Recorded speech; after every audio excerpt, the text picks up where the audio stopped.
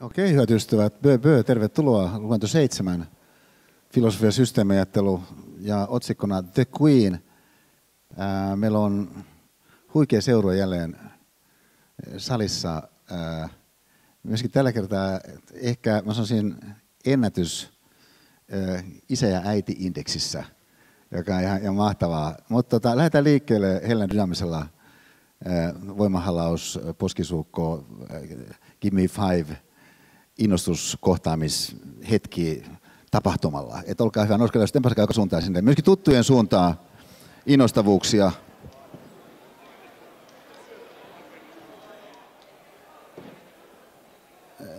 Meillä on nyt tässä toiseksi viimeinen luento tästä luentokokonaisuudesta käynnistymässä. Ja tämän, tämän kertaisen luennon osalta mä ehkä vieläkin enemmän kuin joskus aikaisemmin toivoisin, että nämä eh, kaksi osaa yhdessä, siis tämä ensimmäinen eh, jakso ja toinen jakso, niin, niin muodostaisi kuitenkin myöskin semmoisen kokonaisen kokonaisuuden, jossa kumpikin jakso, vaikka sinänsä itsenäisiä, niin voisi tukea toinen toisiaan. Että jos te joudutte lähtemään sen toisen eh, jakson ää, ää, alussa tai ennen sitä pois, niin, niin ää, mä ehkä – aika vahvasti tällä kertaa rohkaisin siihen, että kuitenkin katsoisit sen niin äh, melko sellainen myöskin äh, rauhallisessa tilanteessa, missä sä voit mennä siihen sun oma ajatukseen mukaan, niin äh, sen jälkeen kun luento tällainen on, on valmistunut. Äh, sitten vaan pienenä muistutuksena siitä, että et, äh, et huomennahan on äh, aikaraja, niin, niin äh, Pafos tulenkantajat – matka-avustusten osalta, josta ohjeet on kurssin kotisivulla. Mähän vuonna 2001, niin kun tulin tänne Otaniemeen, niin se oli soveltavan matematiikan professorin Raimo Hämäläisen idea ja aloite ja oikeastaan toteutus, mikä seurauksena näin sitten tapahtui.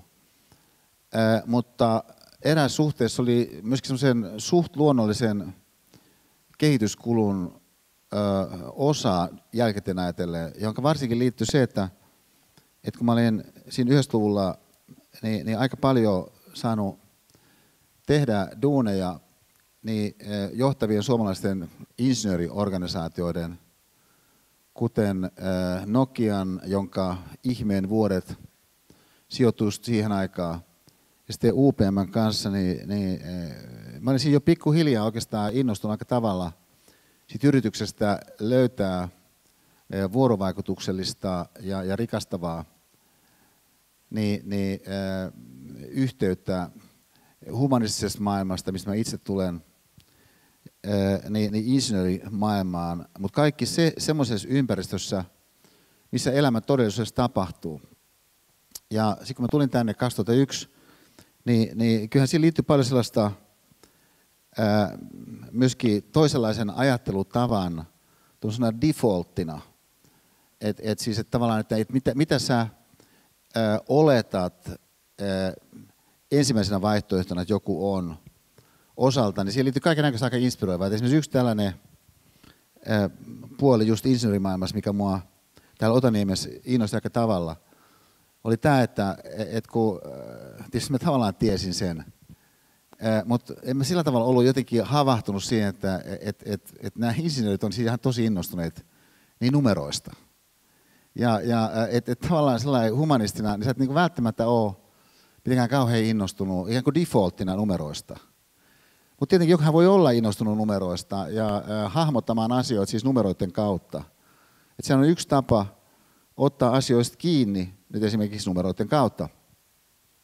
Ja, ja sitä kautta sitten kun mä itse toimin, voisiko nyt sanoa tämmöisessä elämän filosofian kentässä, siis tietyllä tavalla hahmottuvan myöskin yksilöelämän kentässä, niin, niin yksi tapa ajatella numeraalisesti, nyt vaikka sun elämää, niin, niin sanotaan jonkun vaikka ää, 20 vuoden tähtäimellä tästä päivästä eteenpäin, niin on tämmöisen nauruindeksin valossa, että siis että – et, et jos ajatellaan, että et, et mitattaisiin niin, niin viikossa, että paljonko sä naurat sydämellisesti, siis niin kuin aitoa naurua, semmoista iloitsevaa naurua, niin, niin, niin niistä on joku tietty määrä.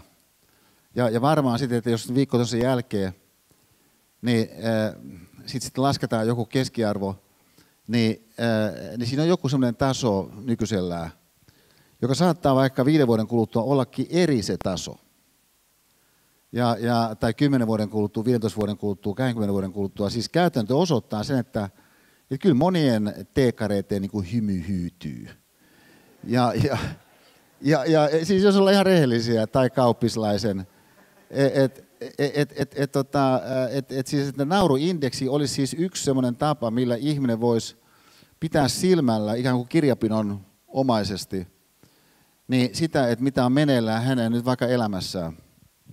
Ja sitä kautta siis toteuttaa siinä elämänfilosofian kentässä, missä hän elää, ja missä hän sitten varmaan pyrkii ohjaamaan omia juttujaan toivottuun suuntaan, niin eh, sitä, mitä kirjanpidon kautta lähtökohtaisesti vaikka yritysympäristössä pyritään tekemään. Et siis pointtihan kirjanpidolla on se, eh, että sä pääset eh, sitten puuttumaan sellaisiin ongelmiin, mitä se numeraalinen maailma osoittaa, että se jossain on.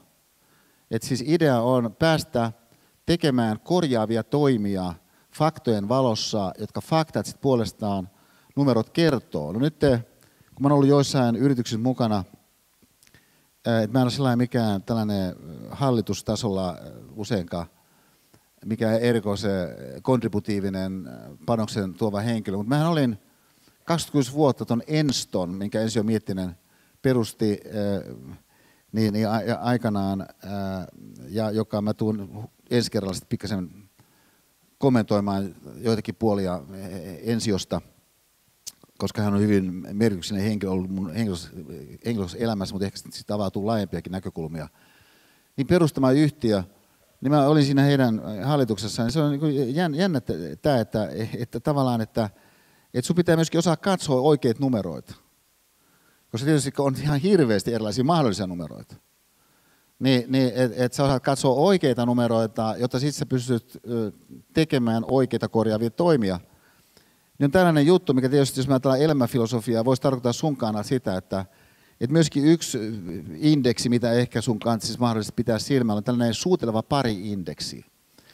Joka suuteleva pari-indeksi määrittelee sen, että, että kuinka monta suutelevaa paria sä haluat nähdä ideaalisena päivänä että jos kaikki menee ihan fantastisen hienosti, että siis kaikki on niin kuin just niin kuin sä toivot, että on semmoinen ilma, kun sä toivot, ja, ja just sellaisia tapaamisia, kun sä toivot, ja, ja äh, illalla joku elokuva, sä oot kavereiden kanssa, joku mahtava elokuva, ja kaiken näköistä, mistä niin kuin tosi paljon tykkäät, just siihen päivään liittyy, niin kuinka monta suutelevaa paria sä semmoisena päivänä haluat nähdä? On ihan mahdollinen kysymys. Ja huomakka, että nythän vastaus tähän, niin sunkaan osalta niin ei ole esimerkiksi 25. Jos ajattelet, että siis 25, Jumalan kanssa menet johonkin Otanemen bussiin, niin heti siellä useimmat parit suutelee aamulla. Ja, ja, ja, ja tota, sä et voi johonkin, jo, jo, johonkin niin kuin kandidaattikeskukseen astua sisään, että sä et heti näe siinä jotakin tyyppejä suutelemassa. Niin, niin eh, kyllä jossakin vaiheessa, niin kun tietysti sä kun näet yhden pari tai kaksi paria, saattaa sua sillä ilahduttaa, että young love, kevät on tulossa, mahtavaa. Mutta onhan siinä joku rajansa, että mikä näihin ihmisiin on tullut, niin herää kysymyksenä jossakin vaiheessa.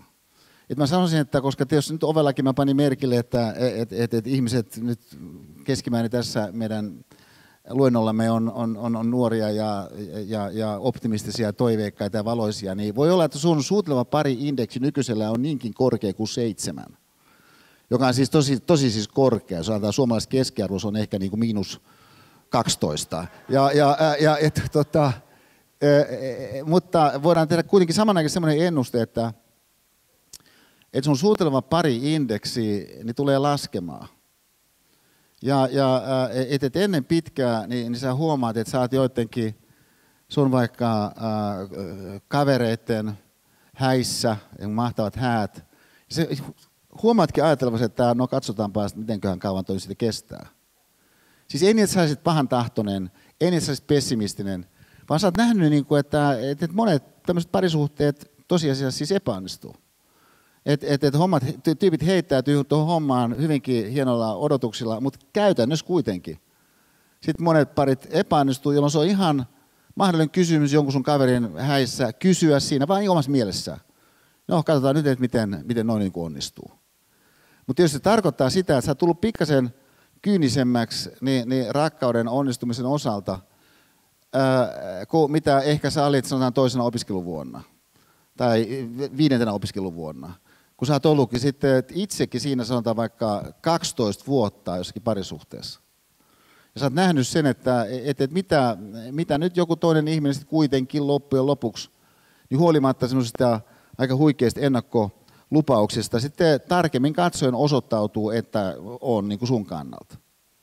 Ja, ja, ja tätä kautta siis tällainen suuteleva pari indeksi lähtee mä sanoisin useimmissa tapauksissa laskemaan, mutta tietenkin ihminen olisi voinut niin, niin huomatessaan tämmöisen trendin, niin puuttua siihen trendiin. Se on ihan mahdollista, että ihminen vaikka haluaisi havahduttaa itsensä, niin, niin rakkauden ulottuvuudessa usein ihmisiin pikkuhiljaa huomaamatta sisään hiipiviin niin, niin kyynisyyden puoliin, niin, niin korjatakseen sen kurssin. Vaikka iloiten sitten joistakin sellaisista pariskunnista, jotka vaikka pitää toisiaan kädestä. Että ihan mahtavaa. Jos kysyt vaikka näin, koskien, no mähän on aika paljon tuossa talossa. Että kuinka usein sä näet tuossa talossa, että jotkut suutelee? Tämä on ihan kysymys. Et, et, et siis, mä sanoisin, että no mä oon nähnyt yhden kerran, kaikki näiden vuonna, kun mä oon ollut siellä. Jotka oli yhdet henkilöt, kun oli filosofian kurssilla ja, ja, ja, ja mahtavat äh, henkilöt. Ja, ja, ja mä tulin sinne sisään, sitten mä näin heidät siellä. Niin nämä suuteli, siellä missä on ne, ne, ne, ne tuota, äh, leipähommelit, niin, niin mielletään niin suudelma. Todella innostavaa. Ja, ja, Mutta siis, että sun ei tarvitse ajatella rakkautta tämän tyyppisillä termeillä. Mutta mä sanoisin, että sen seurauksena sitten sun suutelma pari indeksi, jos et sä ajattele sitä innostuksella suhteessa niihin tilanteisiin, kun nyt sulle eteen tulee, niin tulee laskemaan. Ja sitten vielä kolmas tällainen numeraalinen hahmotustapa ää, koskien sun elämää tästä eteenpäin, sanotaan 20 vuotta, niin on toi asshole-indeksi. Et kun ajatellaan ihmisiä esimiesasemissa, niin monasti käy näin, että kun sitten tarkastellaan näitä ihmisiä esimiesasemassa, niin he ovat näiden tiimin jäsentensä näkökulmasta niin, niin aikamoisia pikkupaskiaisia. Monasti osoittautuu. Johtajat on, esimiehet on, mutta mä sanoisin, että ei, ei monikaan tähdännyt kyllä tuohon. Että siinä selvästikin on tapahtunut jotain sillä henkilölle, henkilölle siinä matkan varrella, jossa semmoinen tietynlainen niin kuin, tärkeys on jotenkin lisääntynyt. Jotenkin äh, äh, halu sanoa viimeinen sana. Sitten että ottaa vähän niin kuin kunniaa itselleen, pikkasen ylikin sen, että, mitkä nyt oikeastaan on oikeutettua.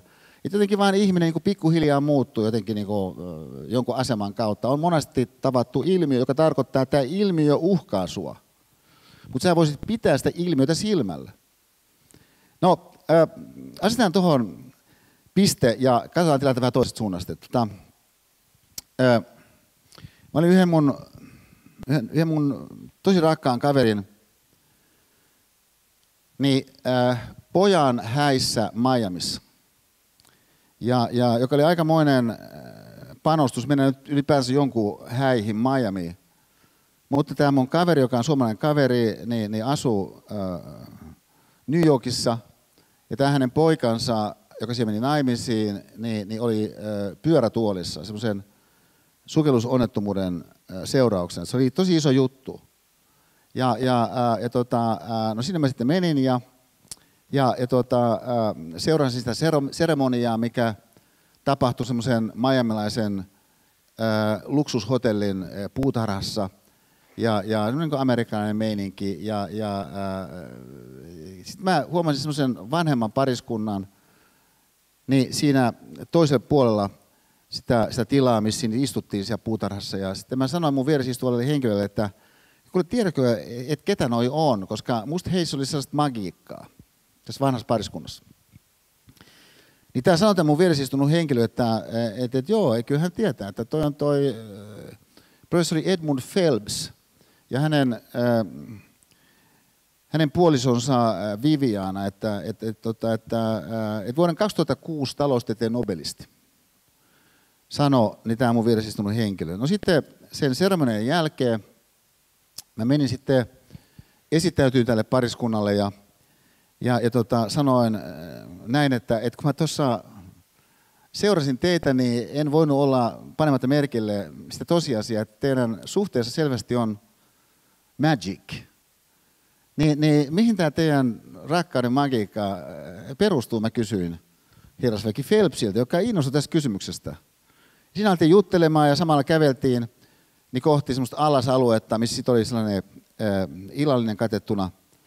Mutta koska siellä ei ollut mitään tämmöistä valmista istumajärjestystä, niin, niin äh, Phelps sanoi mulle, että et, et, tota, että tuu et Esa tuonne meidän pöytään. Ja, ja tota, sitten me istuttiin semmoiseen pöytään, siinä semmoinen pyöreä pöytä, mihin mahtui ehkä 10-12 ihmistä.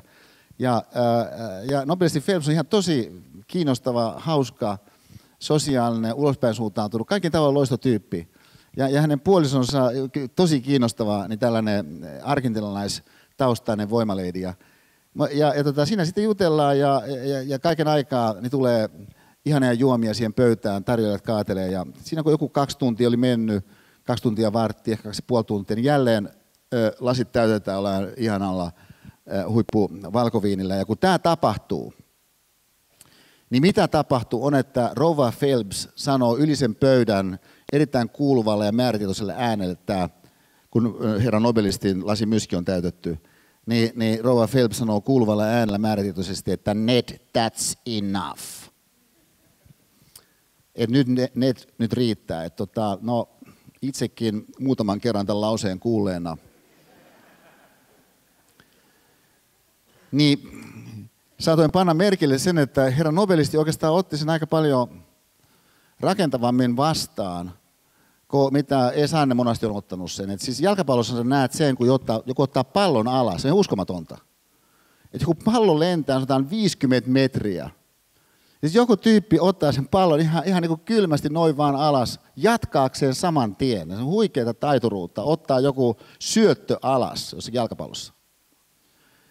Ja, ja, mutta samalla tavalla tietysti se voi niin tunaroida tuommoisen syötön jollakin perusteella. Niin kuin vääränlainen syöttö.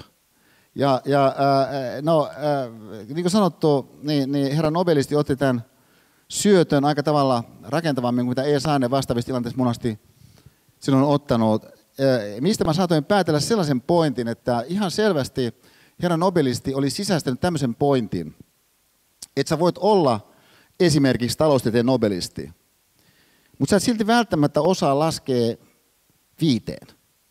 Jos pitää laskea, niin, niin viinilaseja yli vaikka kahden ja puolen tunnin. Et sanalla sanoen, niin tämä matematiikka niin ei välttämättä ole sitten niin kuin käytännön toteutuksena niin kuin ihan niin yksinkertaisesti kuin nopea tarkastelu voisi paljastaa jossakin elävässä elämässä. Ja, ja, ja tietenkin siis se, että, että sä osaat tosi taitavasti jotenkin matemaattisia kalkkyyleitä – paperilla pyörittää ja, ja ruudulla äh, siirrellä sinne tänne ja, ja hahmottaa ja niin päin pois on siis tosi tärkeä taituruus monessa ympäristössä, mutta se ei muuta sitä tosiasiaa.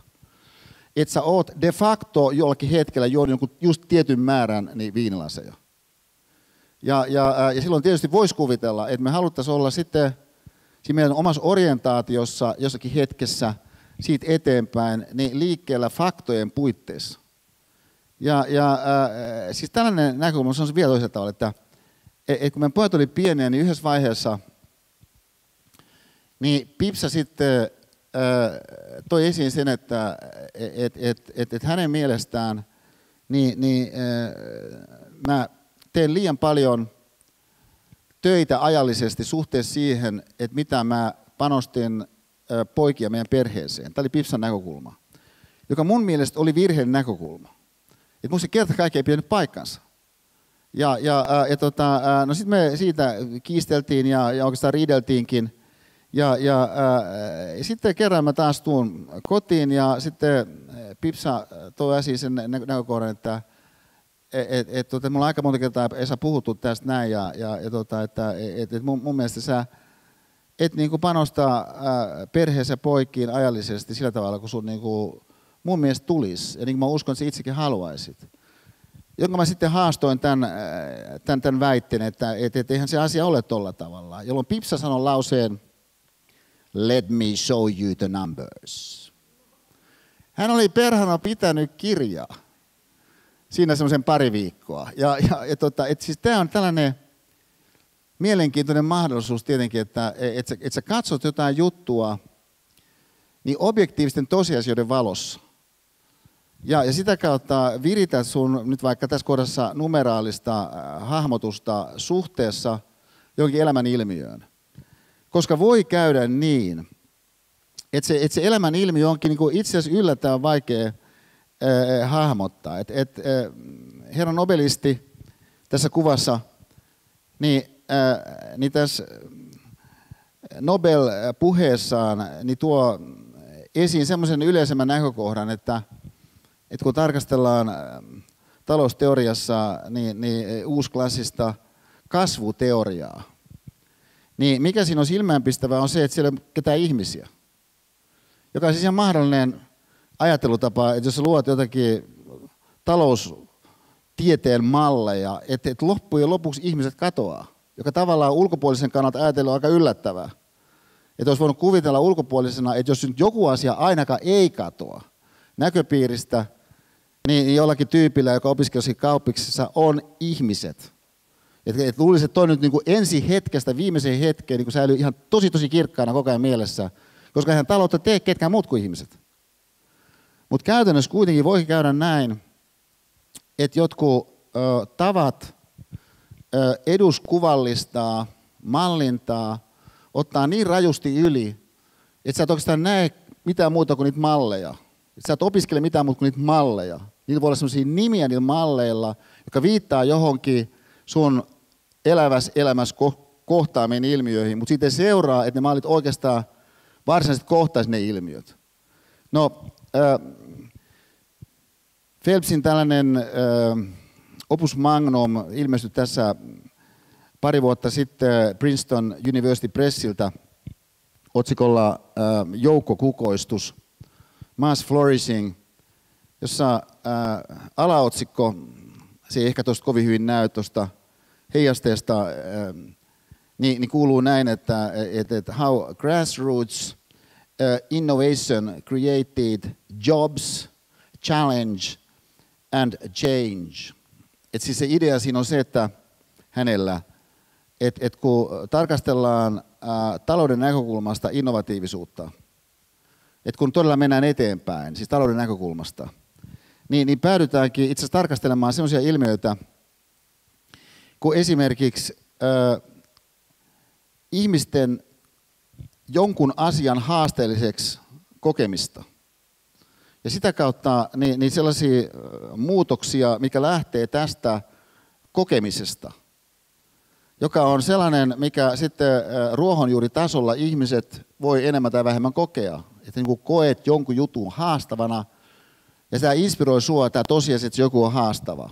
Ja tämän seurauksena sitten, niin, niin, niin sä teet jotain sellaista, mitä sä et olisi tehnyt, niin, niin muutoksen synnyttämisen osalta, itseesi nähden, ehkä ympäristöön nähden, mikä sitten onkin oikeastaan huomattava lisäarvoista, koska sä tulet muuttaneeksi asioita kaiken kaikkiaan. Niin tyyppinen ilmiö on se, mikä tässä nyt meillä tulee tarkasteluun. Ja, ja, ja joka sitten tässä Phelpsin äh, opus magnumissa, niin, niin hän, hän aika moninaisesti sen sitten kytkee taloushistoriaa, mutta tämä on toisenlainen näkemys taloushistoriasta, kuin mitä sitten monasti esiin tarjoutuu siellä, missä oikeastaan ei ajatella sitä ilmiöitä ihmisten näkökulmasta. Herätään sen laajemman kysymyksen sun kannalta, että kun sä opiskelet erinäköisiä asioita, niin missä mitassa ne asiat, mitä sä opiskelet, on sellaisia, että syntyy lisääntyvää ymmärrystä ihmisiä koskien tai sua itseäsi koskien ihmisenä? Tämä on ihan mahdollinen kysymys.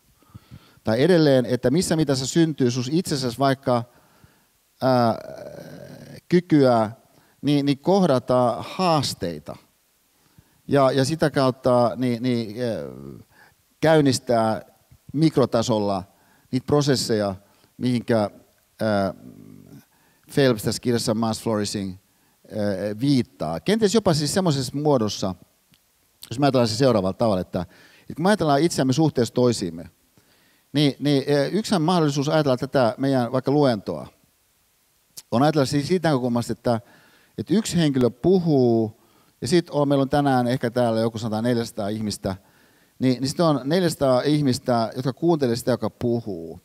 Ja, ja äh, se on semmoinen tietynlainen kokonaisuus, äh, mutta mahdollinen tapa ajatella sitä kokonaisuutta niin on ei niin, että siinä on ikään kuin erikseen joku, joka puhuu, ja sitten joku tai jotkut, jotka kuuntelee, vaan siinä onkin kokonaisuus, joka jollakin tavalla niin on enemmän kuin ne osat itsessään on. Että sanotaan, että vaikka joku teema, mitä Ees Hannen käsittelee jossakin ekan 15 minuutin aikana, niin on osa jotakin laajempaa kokonaisuutta, sanotaan sitä ensimmäistä jaksoa, mutta loppujen lopuksi osa koko, sitä koko luentoa.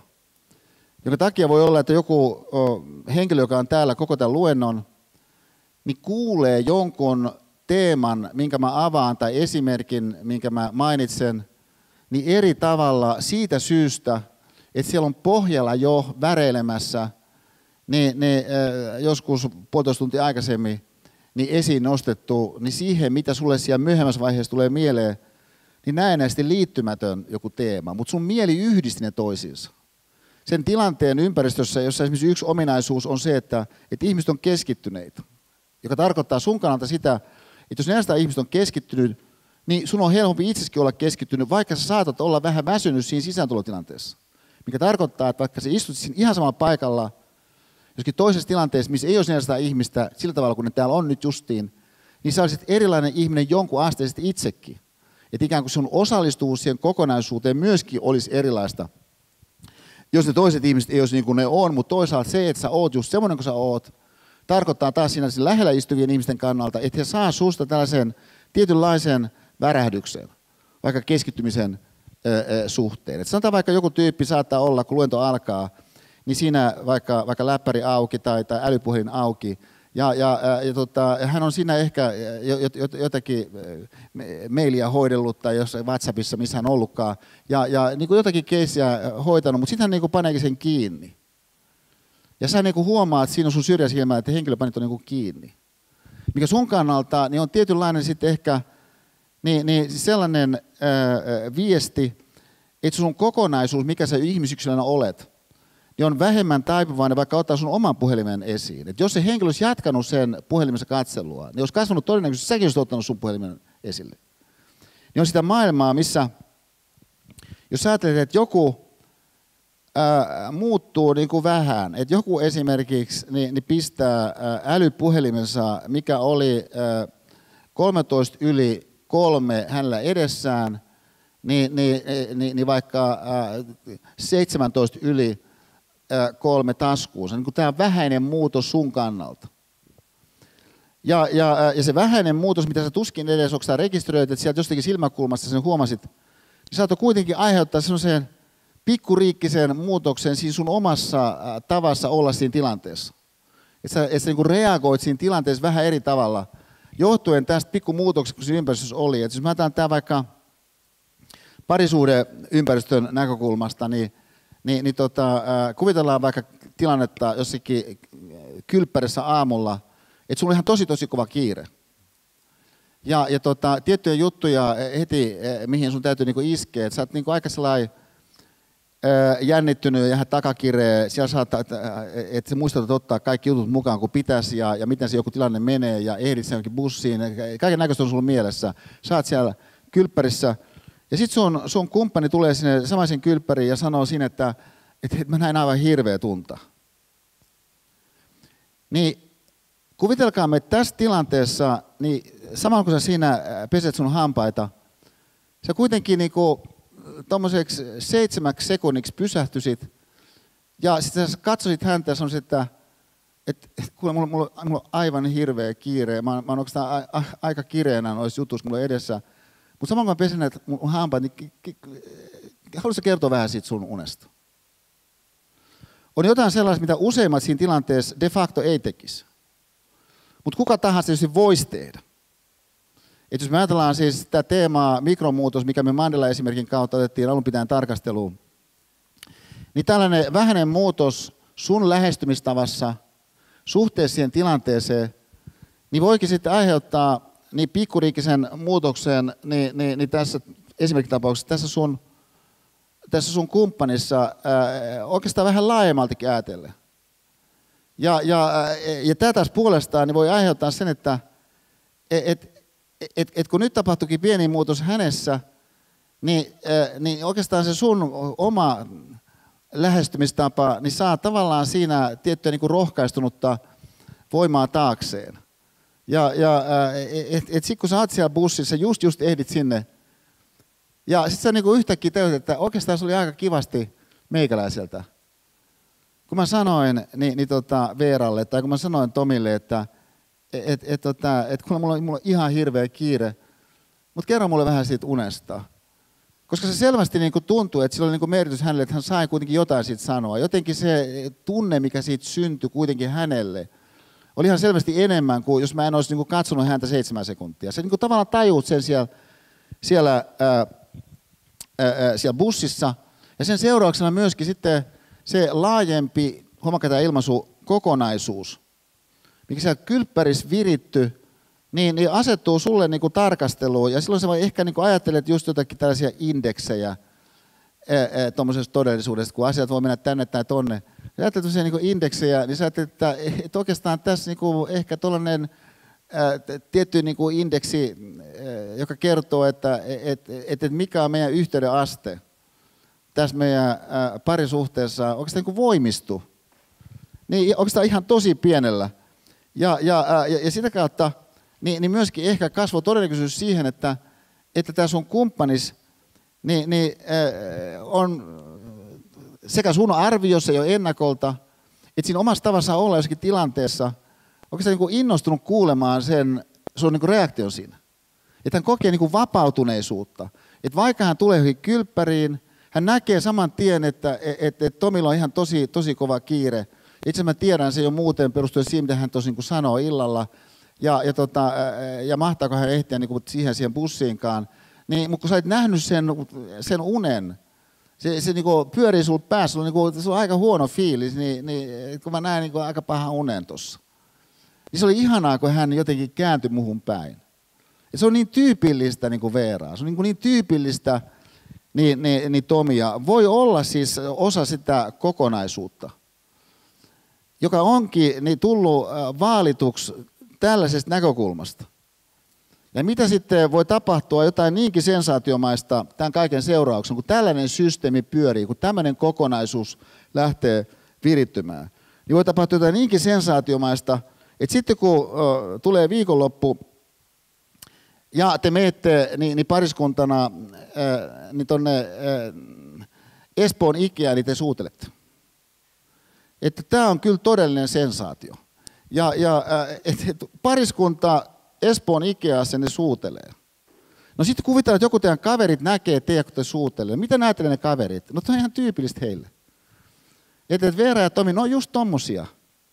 Ja, ja et, tota, et, et, mä muistan, kun Pipsa oli työkeikalla New Yorkissa ja sitten puhui hänen kanssaan puhelimessa. Ja hän oli ihan tosi innostunut, koska hän oli ollut aamiaisella – ihan vaan pikku sivuhuomautuksena, joka on mahdollista Pipsan osalta New Yorkissa, koska äh, kun hän on aamiaisella siellä esimerkiksi Suomen aikaan kahelta, niin on vasta niin kuin kahdeksan aamulla New Yorkissa, niin tämä on niin kuin realistinen aika kuningattarelle mennä aamiaiselle niin kahdelta iltapäivällä. Ja, ja, ää, niin, niin siis Pipsa oli siellä aamiaisella ollut, kun hän ei lähtökohtaisesti ole aamiaisella koskaan. Ja hän oli tosi innostunut sen johdosta, että hän oli nähnyt sen vanhemman pariskunnan, niin kuin hän sanoi, joka kiisteli jostakin innokkaasti. Ajatelkaa. Joku vanhempi pariskunta, ne on aamiaisella siellä New Yorkissa, ja ne kiistelee jostakin innokkaasti. Ja, ja et kuinka niin ihana visio siitä piirtyy koskien niin semmoisia ilmiöitä, joka koskee sitä heidän kokonaisuuttaan. Ja, ja että se on niin mahdollista siitä syystä, että kun se e, toinen aloittaa jostain, niin, niin vähän tuosta kiistanalaisesta, niin se toinen ei mene siitä minkään asteisesti takalukkoon. Ja, ja, ja miksi me sitten takalukkoon? No esimerkiksi vaikka siitä syystä, että et, et hän tietää, että kuinka hyvää tarkoittava tämä toinen on. Tai että hän tietää jo ennakolta sen, että, että tämä tulee valottaa niin kuin asioita uusista suunnista, tämä näkökulma. Koska mä oon huomannut tässä monta kertaa, että kun, kun Tomi aloittaa, kun Veera aloittaa, niin, niin se on jostakin semmoisesta kohdasta, että mä ikinä keksinyt semmoista kohtaa ollenkaan edes aloittaa. Ja tämän takia mä haluan, että hän pääsee sitten eteenpäin siinä. Mutta jos mä menen lukkoon, niin hän pääse eteenpäin. Et vaikka se voi vaikuttaa aluksi niin kuin ihan tosi hämmästyttävältä, jopa niin kuin tietyllä tavalla niin, niin vähän niin kuin hyökkäävältä. Ja se tulee ikään kuin liian kovaa kohti se joku pallo. Niin kyllä mä nyt yritän ottaa sen niin kuin alas siitä.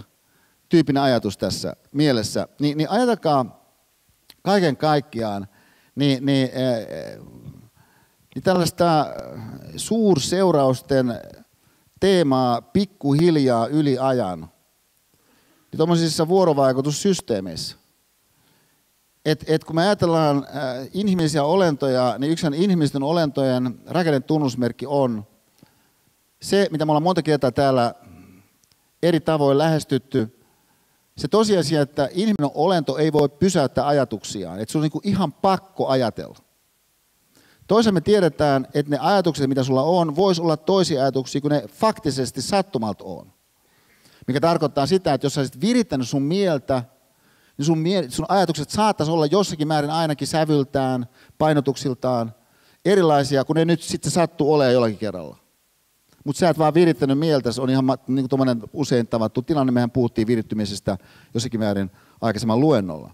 Mutta mut me tiedetään, että tällainen pieni muutos voi aiheuttaa aika tuntuvia asioita ajatuksellisesti sen subjektin sisällä. Edelleen me tiedetään myöskin se, että, että, että, että, että samat asiat voidaan tulkita monella eri tavalla. Että voit tuoda jonkun erilaisen viitekehyksen ja sen kautta saada sen niin asian näyttämään ihan tosi erilaiselta jostakin toisesta näkökulmasta katsottuna, mutta sä olit niin nalkissa sen toisen näkökulman kanssa, että sen sisältä sä et voi kuvitellakaan mitään järkeä siinä, mitä joku toinen teki siinä tilanteessa. Joka oli tämä meidän Pipsasalaisen palvelun päällikkönä esimerkki niin, niin aikaisemmalta kerralta. Ja, ja äh, siis tämä pienmuutosten äh, mahdollisuus yhtäältä liittyy meidän mahdollisuuksiin niin, niin itse vaikuttaa omiin ajatuksiimme. Point numero yksi. Point numero kaksi on se, että toinen asia, mitä sä myöskään et pysty keskeyttämään, ja, ja mitä sä et pysty itse asiassa estämään, on se, että sä ennakoit asioita, sä niin kuin odotat, että jotakin tapahtuu. Et siis odotuksia syntyy meissä kaiken aikaa. No nyt ne odotukset, mitä meissä syntyy, ennakoinnit, mitä meissä herää, niin jonkun asteisesti heijastuu siinä, että mitä me olemme näiden toisten kannalta, ketä me jossakin tilanteessa kohtaamme. Et just siitä syystä se sun kumppani jonka puolensa käännyit siinä valtavassa paineessa kiireessä, häntä katsoen ystävällisesti niin, niin, siellä kylppärissä, niin voi vaikuttaa häneen hämmästävän paljon, koska voi muuttaa hänen odotuksiaan susta kaiken kaikkiaan. Ja, ja, ja sitä kautta voi lähteä siinä teidän keskinäisessä olemisessa liikkeelle niin massiivisia seurauksia, kun siinä teidän ikään kuin keskinäisessä kulttuurissa, niin tämä onkin vallitseva käytäntö. Niin tämä kaikki mielessä. Katsotaan, katsotaan pikku, äh, pikku videon pätkä. Tämä on ehkä meidän siis koko tämän äh, luentosarjan lyhyin pätkä, mikä me nyt tullaan katsomaan. Ja, ja äh, jotkut on saattanut niin, niin, äh, tämän, äh, tämän, tämän nähdäkin, mutta vaikka se ei ehkä ole tämän nähnyt, niin, niin mä uskon, että tämä, tämä, tämä yleisargumentti on aika kiinnostava – että et, tota, tämä on YouTubesta tämmöinen gradual change test. Siis tämä on äh, Daniel Simonsilta, jonka, äh, jonka tätä äskeistä äh, esimerkkiä, vielä kuuluisampi esimerkki on sellainen gorilla-esimerkki, jossa, jossa siis pointti on se, että et, et, tota, et joukko opiskelijoita niin, niin, eh, heittelee toisilleen koripalloa. Ja sitten idea on, että sä niin kuin, lasket, että kuinka monta kertaa he nyt sitten sen pallon toisilleen siinä syöttää. Mutta kun sä lasket sitä, niin sit kesken niiden, niiden pelaajien niin menee tyyppi pukeutuneena gorillaksi joka heiluttelee käsiään siellä, se on pitkän aikaa siinä pyörii, mutta sä et ole nähnyt sitä. Ja, ja no nyt, siis nämä on tällaisia, tällaisia tota, muistutuksia siitä, että et, et ei me välttämättä huomata kaikkea, tai onko tämä ihan triviaalia, että ei me välttämättä huomata kaikkea, mikä tapahtuu. No tietenkin tämä olisi yksi mahdollinen argumentti sille, että no miksi sitten, jos näin on, ää, niin, niin se tosiasia, mihin tässä äsken myöskin Simons kiinnitti huomiota, tai Simons kiinnitti huomiota, joka on se, että et, et sä luultavasti ota ihan tosi sokea tälle sun omalle sokeudelle. Voisi kuitenkin tulla jonkun asteisesti autetuksi, jos ensisikin sä olisit herkällä mielellä tilanteissa huomioiden sen, että, että, että voi olla, että se on jotain semmoista, ää, mihinkä sä et automaattisesti kiinnitä huomiota. Pointti yksi. Pointti kaksi, että et, et sä oot tosi kiinnostunut hahmottaa asioita eri näkökulmista. Ehkä erilaisilla nyt vaikka käsitteillä. Koska käsitteet on yksi tapa ohjata ne, ne äh, huomiokykyä. Et sen kautta, että sä ajattelet sitä sun puolisoa vaikka käsitteen salaisen palvelun päällikkö kautta, niin sä näet hänen toimintojaan erilaisena kuin jos sä olisit ajatellut häntä vaikka tyypillisenä naisena, joka niin kuin yliorganisoi lapseen liittyviä asioita. Ja, ja, siis tämä, tämä näkökulma mielessä, niin ajatelkaa seuraavaa, että kun me ajatellaan itseämme ihmisolentoina osana vuorovaikutuksisia ympäristöjä, niin mitä tiedetään ihmisolennoista on, että ympäri maapallon, myöskin tuollaisissa esiteollisissa yhteisöissä, niin on tiettyjä sellaisia puolia ihmisen tunneviestinnässä, jotka on universaaleja. Ja, ja, ja joka on niin jännä se, että, että tavallaan toisen ihmisen kasvot niin voivat jollakin tosi pienellä muutoksella niin meidän kannalta jollakin tasolla kertoa niin paljon siitä toisesta ihmisestä, että me ei voida mitään sillä, että me koetaan jotenkin se toinen ihminen esimerkiksi vaikka ärtyneenä. Että niin ei välttämättä olisi, mutta tämä on se, mitä me koemme. Niin, niin, äh, niin tässä nyt on joitain esimerkkejä. Esimerkiksi tuossa äh, oikeassa yläkulmassa niin, niin kaverille kasvaa sarvet päähän ilmiö. Ja, ja, äh, tai sitten tuossa alarivissä toinen vasemmalta, niin, niin äh, jos, jos tämä henkilö on niin kuin kiinnostuneen oloinen, että et se on niin kuin helppo kokea ikään kuin kiintymystä hänen taholtaan itsespäin, että et hän on jotenkin niin kuin, äh, tietyllä pilkkeä silmäkulmassa, huumorilla, tietyllä innostuksella kääntynyt suhun päin siinä. Ne on siis semmoista maailmaa, mitä me koemme kaiken aikaa. Siis jonka sisällä olemme kaiken aikaa, mutta toisten kannalta he ovat meidän toimesta siis samassa todellisuudessa. Ja, ja se pointtina ei ole tässä nyt se, että onko joku henkilö esimerkiksi ärtynyt tosiasiallisesti, vaan että mitä toiset kokee, että mitä se henkilö on.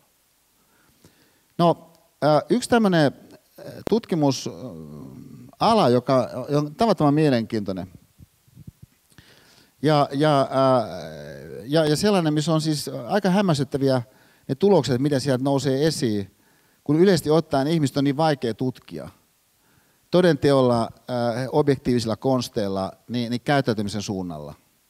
On monenlaisia haasteita, niin on tuo avioliittotutkimus. Ja, ja äh, jossa siis ainakin nyt jos ajatellaan epäonnistumista, niin suhteellisen helppo määritellä, miten nyt ainakin on epäonnistuminen. Ja, ja äh, lisäksi sä voit mennä kysyä ihmisiltä myöskin niin, niin, onnistumisesta, jopa kukoistuksesta – ja, ja äh, sanotaan kymmenen vuoden päästä, kun sä oot tarkkailu näitä ihmisiä vaikka kymmenen vuotta aikaisemmin, niin jos sä onnistut ikään kuin löytämään ne ihmiset, niin sä voit periaatteessa tehdä aika muista ajan yli ulottuvaa seurantatutkimusta, joka on niin kuin mielenkiintoista. Varsinkin jos sitten ajattelekin sen suhteessa sellaisiin itsessään pieniin asioihin, mikä kaiken aikaa tietysti parisuhteessa niin täyttää siis jokaisen päivän – et, et siis, että jokainen hetki, tietysti me ajatellaan jotain, jollakin tavalla me koko ajan reagoidaan. Ja, ja, ja mitä John Gottman, joka on tämä johtava tutkija tällä alueella,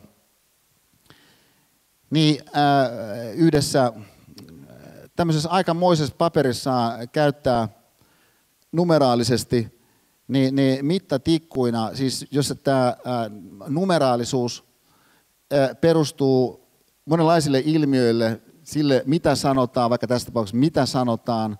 Mutta sen lisäksi vielä että miten se sanotaan ja, ja miltä se henkilö, joka sen sanoo, vaikuttaa, tyyppinen maailma, niin, niin, niin, niin tämä synnyttää sitten tällaisen kokonaiskentän, jossa se ää, otsikko nyt vaikka tässä tapauksessa tällä tiedeartikkelissa, siis tämä otsikko on, että Predicting Divorce Among Newlyweds from the First Three Minutes, siis ensimmäiset kolme minuuttia.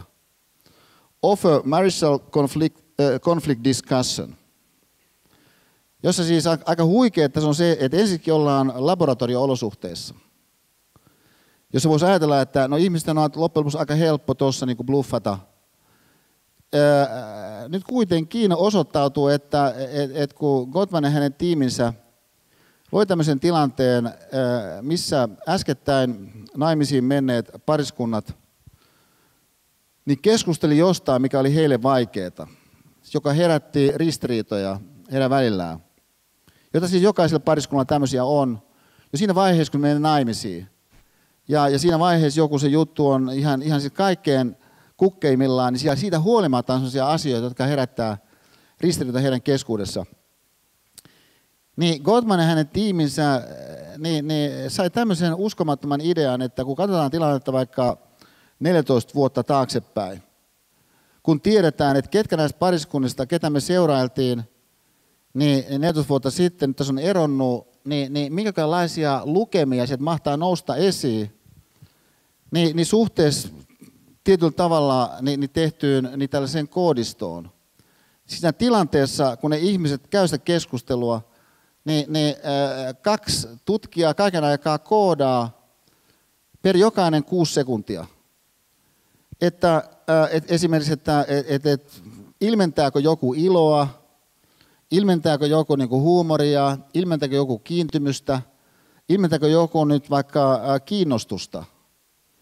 Ja sitten sen mukaan, että mitä, mitä se on, niin, niin hän iskee tietyn koodin siihen kuuteen sekuntiin. Ja että joku vaikka osoittaa kiinnostusta, niin tuli, niin, niin tota, anteeksi toi muuten kai siinä, äh, oliko se plus kaksi vai plus kolme, Jaakko? Se on plus kaksi, toi väärin tuossa, mä vissin korjasin sen tänne. Joo, äh, niin, niin tota, sorry, mä, äh, siis, jos joku osoittaa vaikka kiinnostusta, niin, niin, niin se on niin kuin plus kaksi. Tai että, että, että joku äh, validoi toisen, niin kuin että et, et, et, et, et, mä otan ton niin kuin vakavasti, niin kuin Mandela tekee siinä meidän videopätkässä. Kaiken aikaa tälle, tälle, tälle rugby-kapteenille. Hän validoi tätä, tätä kapteenia. Hän siis ottaa sen toisen ihmisen vakavasti että et sä oot niinku pätevä siinä, mitä, mitä sä niinku edustat. Tyyppinen viesti on ihan mahdollinen. Ja, ja sitä kautta niin, niin, äh, syntyy plus lukemia. Nyt kuitenkin, jos se onkin konfliktikeskustelu, siis puhutaan sellaista asiasta, mikä nostattaa näiden henkilöiden tunteita, heillä on ristiriitoja siinä jossakin rahan käyttöasiassa, milloin pitäisi hankkia lapsi tai ei pitäisikö ollenkaan hankkia lapsi tai, tai adoptoidaanko, eikä adoptoida, minne muutetaan, e, tota, e, kuinka paljon pitäisi olla toisen vaikka äidin kanssa tekemisissä. Kaiken näköisiä kysymyksiä voi olla sellaisia, mikä herättää ristiriitoja ihmisten väillä. Mutta sen jälkeen, kun tuommoinen ristiriita herättävä teema tulee tarkasteluun, niin joissakin ihmisissä nousee defensiivisyys tosi nopeasti. Ja, ja, äh, joka olisi sitten tässä koodistossa miinus kaksi että et se tyyppi ikään kuin ei halua oikeastaan kuulla sen toisen niin näkökulmaa edes, eikä paneutua siihen. Hän ei osoita siis kiinnostusta siihen, mikä se näkökulma on, mikä se argumentti nyt mahdollisesti on. Vaan hän on vain niin defensiivinen kaiken aikaa. On ihan mahdollinen tapa olla siinä tilanteessa, että et henkilö voi suuttua. Että se otti niin just ton asian puheeksi. Tai, tai että et, et, et, et, tota, hän voi suorastaan niin inhota jonkun asteisesti niin sitä toista. Kasvon ilmeissään, tavassaan puhua – että se niin kuin viesti on inhon viesti. Ja, ja äh, jossakin siis kuuden sekunnin pätkässä. Että huomatkaa, eihän sen henkilön yleisasenne on muuttunut se toista, koska mitä mä olen just mennyt naimisiin. Mutta voi olla silti joku kuuden sekunnin pätkä, mikä sisällä se viestit inhoa. Jopa halveksuntaa. Ja koska se teema kuohuttaa sua sen verran paljon. Sen toisen näkökulma siihen on siis niin kerta raivostuttava. Että kun se on niin yksipuolinen, että se on niin, niin kerta kaikkiaan niin pieleen ajateltu niin, niin että ihmisillä ei mene kovinkaan paljon niin, niin aikaa siihen, että hän saa jonkun halveksunnan itsessään käynti, jos sikseen tulee. Mutta se on miinus neljä nyt tässä tässä, joka on valtavalla vaivalla rakennettu, niin tämmöiseksi koodikieleksi, koskee sitä mikromuutoksen maailmaa, mikä tuommoisen vaikka 15 minuutin, niin kuin tässä tapauksessa, 15 minuutin konfliktikeskustelun aikana, niin sitten synnyttää aikamoisen data-aineiston, ja, ja, joka on siis numeraalinen data-aineisto. Nyt sitten tämä kaikki, katsotaan se näin, tuottaa nyt vaikka ää, tässä tapauksessa näistä näistä äh, herrahenkilöistä, niin tietyn tämmöisen äh, positiivisuusgraafin. Ja, ja äh, että et keskimäärin ne, jotka pysyy toisensa kanssa aviossa, herrahenkilöt, niin oli tässä kohdassa niin, niin, ne, ne kuuden sekunnin pätkät laskettiin yhteen, niin, että, että, että syntyikin tämmöisiä kolmen minuutin pätkiä. Et keskimäärin kolmen minuutin pätkän sisällä paljonko syntyi positiivisuutta. Ja, ja, ja siis se lukema on aika paljon korkeampi niin, niiden herrahenkilöiden keskuudessa, jotka pysy naimisissa siihen verrattuna, kun tiedettiin, ketkä nyt eroskin jälkikäteen. Mutta sitten sen lisäksi, mitä myöskin tapahtui, niin oli se, että että et, et, et, tota, et, et niiden, niiden, mä katson sen tässä edeltävästä, ne on aika pienet numerot, mutta te näette sen sitten, kun nämä heijasteet tulee verkkoon, jos haluatte pikkusen katsoa sitä. Niin mitä siinä myöskin tapahtuu, on paitsi se, että, että, että, että nämä alun alkaenkin on negatiivisempia saman tien ensimmäisen kolmen minuutin aikana. Anteeksi, heillä on vähemmän positiivisuutta ensimmäisen kolmen minuutin aikana. Nämä eroavat herrahenkilöt kuin naimisissa pysyvät herrahenkilöt, niin sen lisäksi myöskin, jos me katsotaan sitä negatiivisuuden kautta, ikään kuin otetaan se erikseen se negatiivisuuslista, niin he sen ensimmäisen kolmen aikana jo ehtii generoida enemmän negatiivisuutta tuolla äskeisellä numeraalisuudella laskettuna, kuin mitä nämä naimisissa pysyvät henkilöt, jonka jälkeen sitten mitä myöskin tapahtuu on, niin, niin se, että että et, et oikeastaan ne onnistuu pysymään aika lailla positiivisena läpi koko sen keskustelun nämä herrahenkilöt, jotka säilyvät siinä avioliitossa. Vaikka heidän negatiivisuus jossakin määrin lisääntyy, niin se, niin, niin se kokonaislukema menee tällä tavalla, että tuossa ylhäällä siis niin ne herrahenkilöt, jotka pysyvät siinä aviossa, niin, niin säilyy, kun vähennetään niistä positiivisista negatiiviset, niin kirkkaasti positiivisella läpi koko sen keskustelun. Erotuksena niin, niin, ne, jotka eros, jotka lähtee liikkeelle jo nollarajan alapuolella alulla alkaenkin, mutta ei mitenkään dramaattisesti, mutta jonkun verran. Ja sitten ne siitä laskee vaan alaspäin ja alaspäin. Nyt siis tämä on ensimmäinen kolme minuuttia ja ensimmäinen 15 minuuttia. Ää, niin, niin onko tällainen, jonkun tällaisen kokonaisen parisuhteen sisältä katsottuna, niin se on tosi pieni viipale, jos on vaikka 14 vuotta tarkastelussa. Mutta kun pointti on se, että nyt saattaakin käydä näin, että tuossa on kaava, sellaiselle, mikä toistuu uudelleen ja uudelleen. Jokainen, joka on asunut jonkun kanssa vähän aikaa, huomaa sen, että et, et, et se on hämmästyttävää, kuinka samanlaisia riidat on. Se on aivan ällistyttävää, että kuinka me pystytään muistamaan sanasta sanaa niin tarkasti. Ja, ja, ja tota, et se on siis kerta kaikkiaan ällistyttävää, että et kuinka ikään kuin semmoinen suoraviivainen se kaava on, mikä tuommoisessa tilanteessa, niin voikin itse asiassa ottaa yli, jolloin jos meillä on sitten vaikka tässä tapauksessa, oliko se 140 pariskuntaa, niin, niin, niin siitä tulee niin kuin tosi nättiä niin kuin lopputulema.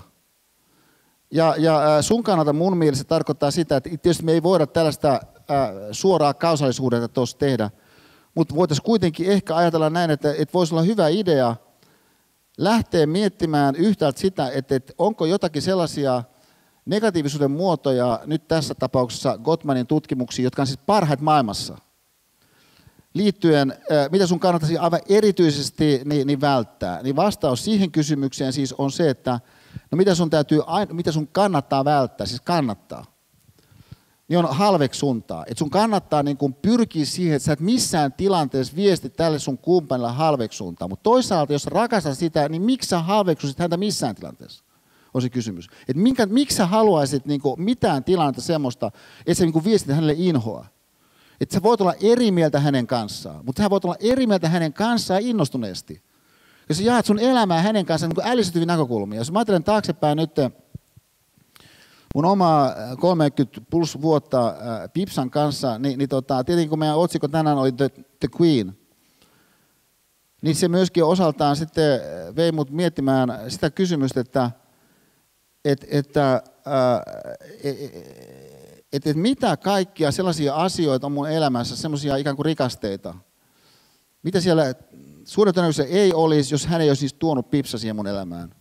Tai ainakin vielä toisaalta tavalla ilmastuna, kun sitä on ehkä tuommoisella kontrafaktuaalilla on niin vaikea ää, tavoittaa, mutta jos ajatellaan näin, että et, et mihin ainakin pipsa tosiaan aivan ratkaisesti vaikuttanut, niin mä huomaan, kun mä katson taaksepäin, että no monesti semmoisiin asioihin, jotka on tosi tärkeät ollut mulle itse asiassa sitten loppujen lopuksi, mutta jotka siinä vaiheessa, kun ne tuli ö, tutkalla esiin Pipsan toimesta, hei, katso, tuossa on tommonen, niin aiheutti E. Saarisen semmoisen reaktion, joka oli oikeastaan aika torjuva.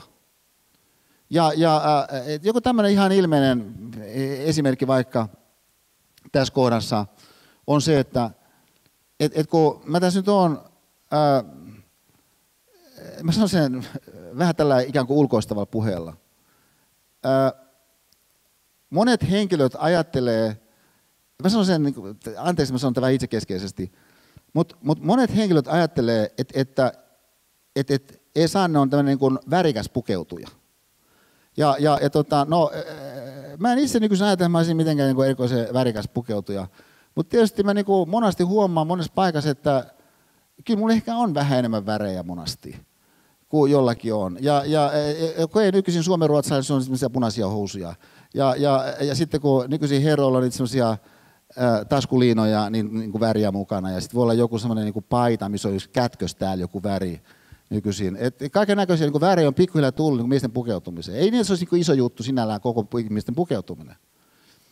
Mutta silloin kun me tutustiin Pipsan kanssa, niin, niin sellainen tapa pukeutua, mikä mulla ää, nykyisin on ja on ollut tässä ää, jonkun ainakin 25 vuotta, ehkä 30 vuotta kohta, niin mulla ei ollut semmoista pukeutumista silloin. Ja, ja äh, et, siis Pipsan silmä äh, visuaalisille asioille on aivan, aivan eri rekisteriä kuin mikä se äh, mulle on. Et mä, mä niin muistan esimerkiksi tällaisen hetken, että kun ennen Suomen EU-äänestystä, niin silloinen komission puheenjohtaja Jacques Delors oli Suomessa käymässä. Niin Delors, joka on niin tosi intellektuelli poliitikko, ne äh, halusi, että hän tapaa jotain suomalaisia intellektuelleja ollessaan ikään kuin valtion vierailu Suomessa. Ja sitten Erkki Liikanen niin, niin järkäsi tämmöisen jutun, johon hän sitten kutsui E. Saarisenkin siihen johonkin pieneen porukkaan, joka pieni porukka sitten tapasi EU-komission puheenjohtajan Porissa. No, mä, mä olin niin kuin nuori sälli silloin ja, ja, ja tota, Pipsen ja mun rakkaus oli jatkunut siinä muutaman vuoden ja ja, ja tota, sitten mä sanoin Pipsalle, että et, et, tota, et mitäköhän pistäisin niin päälle sinne. Pipsa sanoi, että no, hänen mielestään sulla on lä- lähinnä niin kuin kaksi vaihtoehtoa. Mä sanoin, että kaksi vaihtoehtoa. Ja heti kun mä sanoin sen, niin mä täysin, että mitkä ne on. Et sä et voi tarkoittaa sitä, mä sanoin. Sä et, sä et voi tarkoittaa sitä. Koska mä arvasin, mikä hänen mielestään oli niin kuin se päävaihtoehto ja oli kaikki muut vaihtoehdot. Sen takia, koska me oltiin Bangkokissa, kun oltiin oltu, me oltiin teetetty mulle semmoinen, uskomaton, siis niinku kimalteleva vaaleanpunainen smokki. Mä sanoin, että sä, sä et voi olla tosissasi. Ja, ja Pip sanoi, no ei, hän vaan niin kuvaa tässä nyt niin hänen mielestään niin nämä päävaihtoehdot. Että et se päävaihtoehdot on niin tämä sun vaaleanpunainen eh, smokki tai sitten muut asusteet. Et nämä on ne vaihtoehdot. Ja, ja, ja tota, siis mulla ei ollut silloin niin äh, leopardin juttuja ja muita. Ja, ja äh, niin kuin, no loppujen lopuksi sinne mä sitten lähin. Ja, ja mä muistan, kun mä tapasin siis Delori, niin hän oli semmoinen todellinen herrasmies. Siis tämmöinen ranskalainen uskomaton, elegantti herrasmies, että hän niin pikkusen niin katsoo. Mutta mä olin siltä pohjalta liikkeelle, että tämä on ihan tavallista meillä täällä Suomessa. Ja tämä oli siis niin 80-lukua. Ja, ja, ja tota, ää, että olisiko se ollut 86 se vuosi, niin, niin että et siis, et Pipsa on tuonut ihan tosi paljon siis tällaista tavallaan hirmu konkreettistakin mun todellisuuteen, mutta kun hän on tuonut sen, niin nyt tämä on aika tuskallisesti jälkeen ajatella ja todeta se realiteetti, niin kyllähän joutunut oikeastaan taistelemaan aika paljon siinä. Siis E. Saarisen vastustusta vastaan. Ja, ja et se on aika monen ilmiö oikeastaan tämä. Ja, ja, ja sitä kautta tietysti voisi sanoa, että okei, vaihtoehto tuossa tietysti olisi ollut kaiken aikaa se, että, että, että henkilö olisi niin kiinnostunut alun alkaenkin niin sen toisen näkökulmista. Että ahaa, tällainen vaihtoehto. Katsotaanpa sen nyt aluksi tässä vähän sen. Ja, ja että siinäkin tapauksessa olla niin eri mieltä, niin eihän sun tarvitse lähteä inhoamaan sitä, eihän sun tarvitse niin halveksimaan sitä sun niin kumppani, joka toi jonkun, jonkun näkökulman esiin. Edes siinä tapauksessa toisen jollakin niin emootioiskulla. Se voi olla, jos on kokee jostakin vahvasti, tuo se niin vahvasti myöskin tilanteeseen. No miksi sun pitää reagoida siihen vaikka niin kuin, äh, suuttumalla tai kivikasvosuudella? Ja äh, tässä kohdassa mä muistutan uudelleen siitä teemasta, mitä me tarkastelimme jollakin syvyydellä aikaisemmassa vaiheessa äh, liittyen äh, Twekin äh, niin, niin, kasvun ajattelutapa äh, teemaan, äh, growth mindset, incremental mindset, siis teema, siis se, että et, et, et, kuinka esineellisenä, siis jo valmiina, ne, ne paikalleen fiksattuna sä ajattelet itses niin sun omien reaktiotapojen osalta, on ihan musta relevantti kysymys. Ja varmasti on niin, että, että monet sun reaktiotavat nousee niin vahvasti sun systeemistä yksi, että sä et noin vaan voi muuttaa se toiseksi, mutta ei siitä seuraa, etteikö pikkuhiljaa, niin se voisi lähteä muuttua joksikin toiseksi.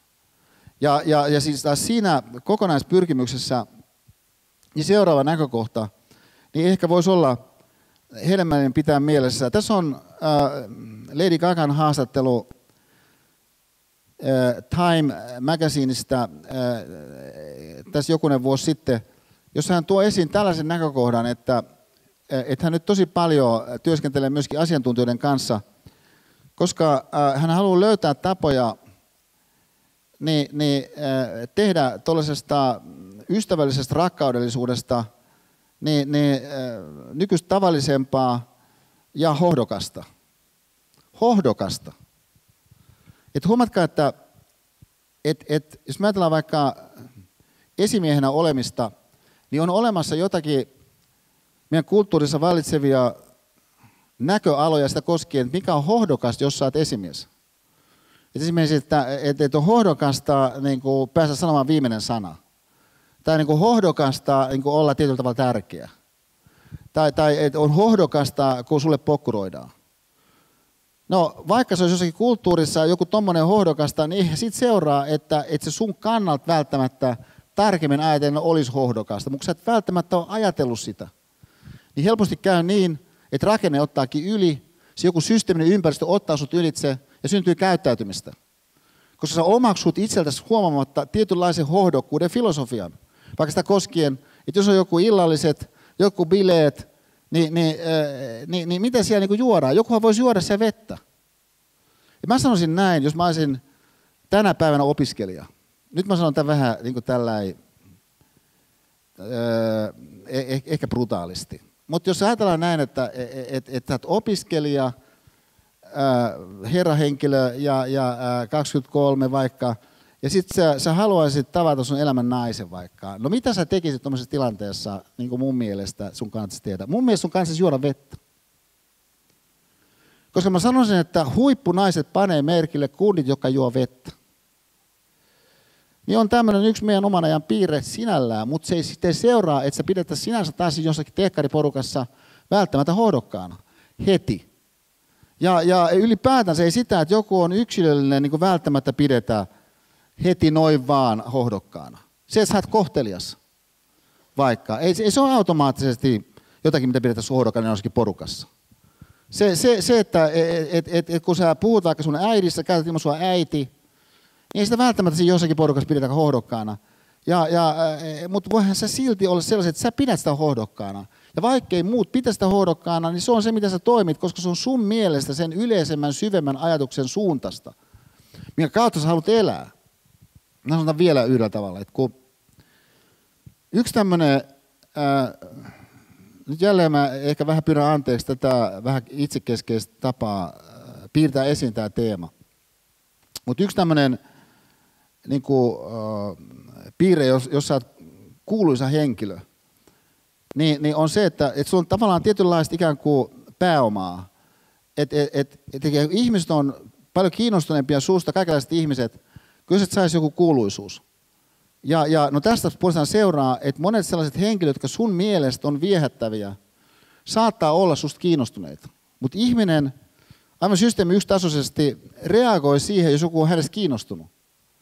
Ja, ja että et, tota, et joku toiminta tulee haastelemaan jotakuta, niin, niin aika usein voi käydä näin, että itse asiassa syntyy niinku romanssi. Ja, ja joku tekee väitöskirjaa jostakusta, niin syntyykin romanssi.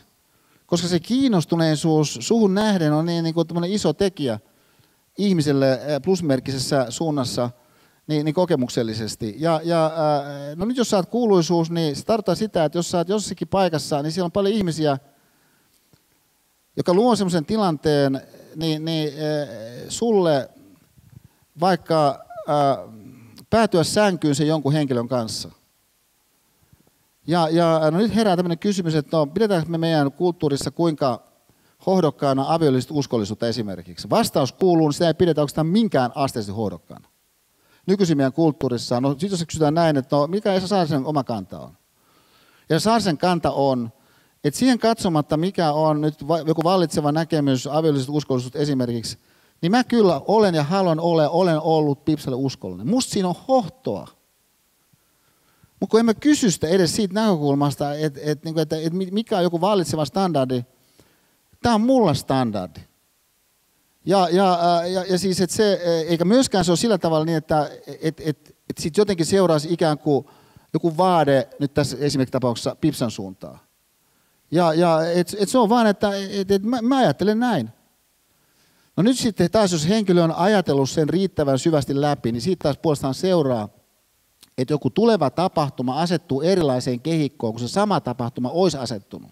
Ja sä niin näet sen potentiaalisen muutoksen, mikä siinä voi tapahtua. Sä tapaat joku henkilö, no mä oon mies, mä koen jotkut naiset kiihottamina, tämä on fakta. Ja, ja äh, siis ajatelkaa se siitä näkökulmasta, että tämä on, nyt fiktiivistä, mutta mä, ja mä pikkasen ylitän tuon ajan. Mutta kuvitellaan tämmöinen tilanne, että, että kun meidän pojat oli pieniä, niin mä olisin ollut jossakin vaikka Kokkolassa, niin keikalla – ja, ja sitten tota, siinä tämän tosi onnistuneen keikan jälkeen, niin mä tsekkaan sisään siellä Kokkolan kumuluksessa.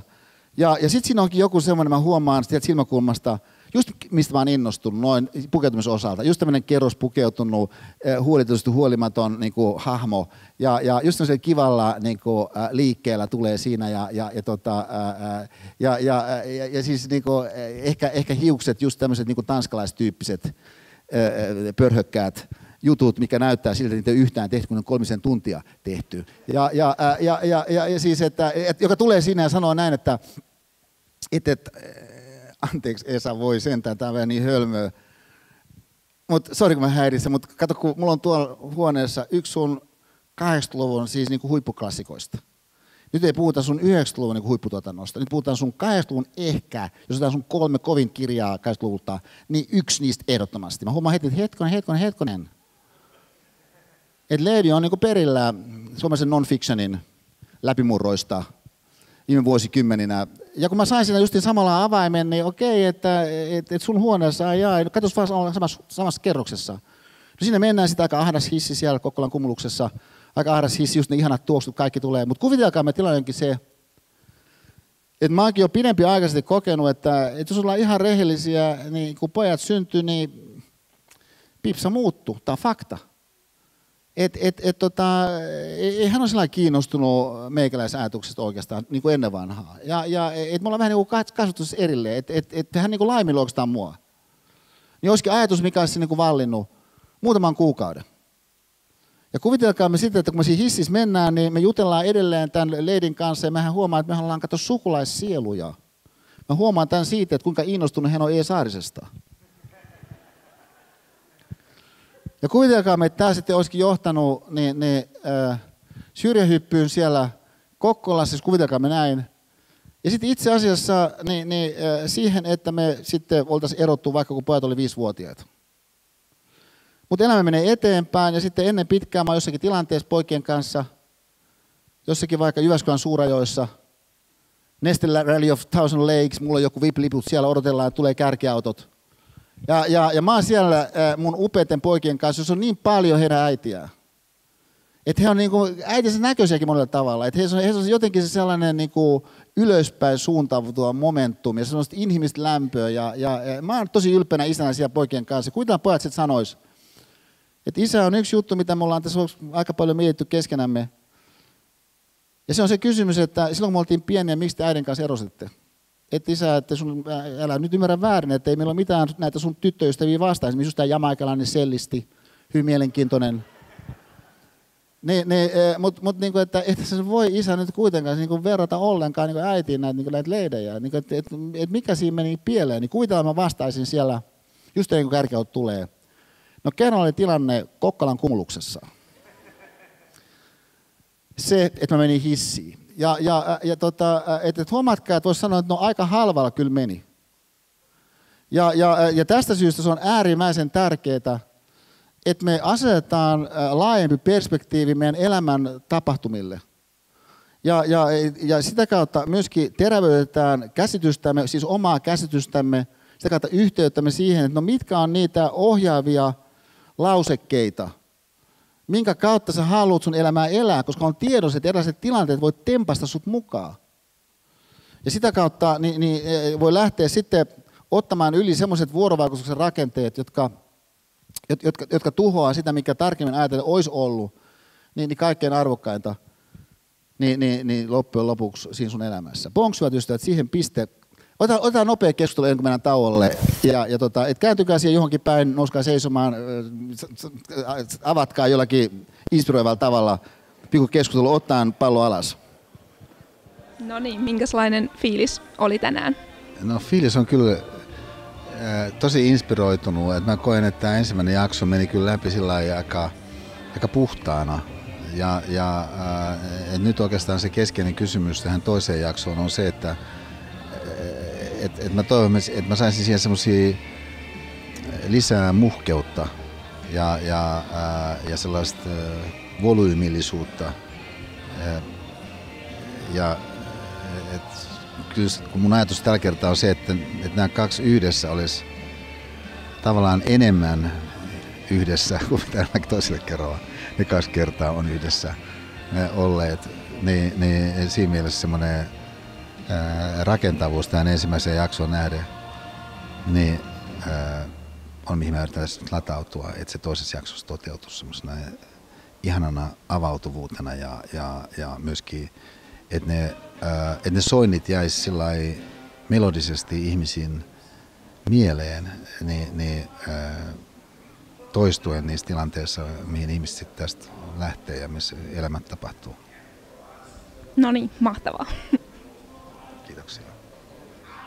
Okei, okay, hyvät ystävät. Mä haluaisin tämän toisen jakson niin, äh, aloittaa suoraan tällaisella äh, videopätkällä. Ja, ja tota, mä, mähän on kyllä oikeastaan kiinnostunut näistä videonpätkistä. Ja, ja, et, tota, äh, mutta siis tämä seuraava on kyllä hyvä. Ja, ja, ää, ja tota, mä, nä, mä näytän tämän pätkän ja sitten sen jälkeen ryhdytään tarkastelemaan sitä. Sitten on yksi tällaisia kaikkien aikojen leijonamaaleja. Ja ää, tässä on mielenkiintoista se muiden asioiden ohella, että kun Raimo Helminen, joka tässä siis muistelee tätä maalia – niin joutuu muistelemaan sitä, että siihen käy heti selväksi, että et, et Raipe selvästikään ei ihan hirveästi niin kattele vanhoja niin kuin huippuotteluita videolta. Ja, ja, ja, ja siis miten hän muistaa tämän maalin, niin on, että et, et, oltiin Sakun ja Karalaisen Jeren, oltiin et, et siis, hän lähtee heti ajattelemaan sitä kokonaisuutta, minkä osa hän on.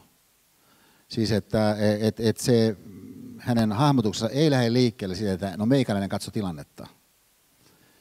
Ja nyt tässä pitää kuitenkin muistaa, että et, paitsi että Helminen syöttää tämän maalin, niin jo aikaisemmassa vaiheessa niin hän syöttää poikkikentän tosi hienosti Teemulle, joka tämmöisessä 6-4 vastaan tilanteessa niin tykkää pelata vasemmalla. Et vaikka hän on oikea laituri, niin hän pelaa vasemmalla, koska hän tykkää vetää sieltä B-pisteen sisältä suoraan syötöstä. Et hän on tehnyt hirveän määrän maaleja just tuosta paikasta Teemu. Niin äh, Raipe syöttää hänet tosi komeasti, ja olisi voinut tulla maali, mutta ei tullut kuitenkaan maalia siinä vaiheessa, mutta senkin tilanteen niin, niin äh, Raipe äh, järjestää. Et se, musta se on aika moista myös se, että et kuinka hän korostaa toisia. Että et kun Saku ajautuu viivaan, niin kuin hän sen sanoi, että kun Saku ajautuu viivaan, niin Karolahtia lähti heti sieltä vapaaksi. Et koska hänen muistikuvansa tietysti on se, että no Karolahti on puolustaja, mutta mehän syötin Karolahdelle, niin miksi se oli semmoisessa paikassa? No siitä syystä hän päättelee ehkä siinä niin kuin lennossa, koska hän, äh, hän lähti niin briljantisti niin, niin vapaaksi tilanteessa, missä äh, Saku ajautui sinne viivalle, missä Raipe tässä muistelee, että äh, täytyy olla. Et kyllä se oli paljon justiin siis äh, Jeren hyvyyttä. Ja mä itse sain sitten sohastua kiekon Karolahdelle. Tämä on hänen niin tällainen yleishahmotus, siis painottaa toista ja, ja ei korostaa itseä. Ja me tiedetään tämä Helmisen upeasta urasta, että tämä on hänen ajattelutapansa. Ajatella kokonaisuutta, ajatella toisia, ei korostaa itseään, siis epäitsikäs pelaaja. Ja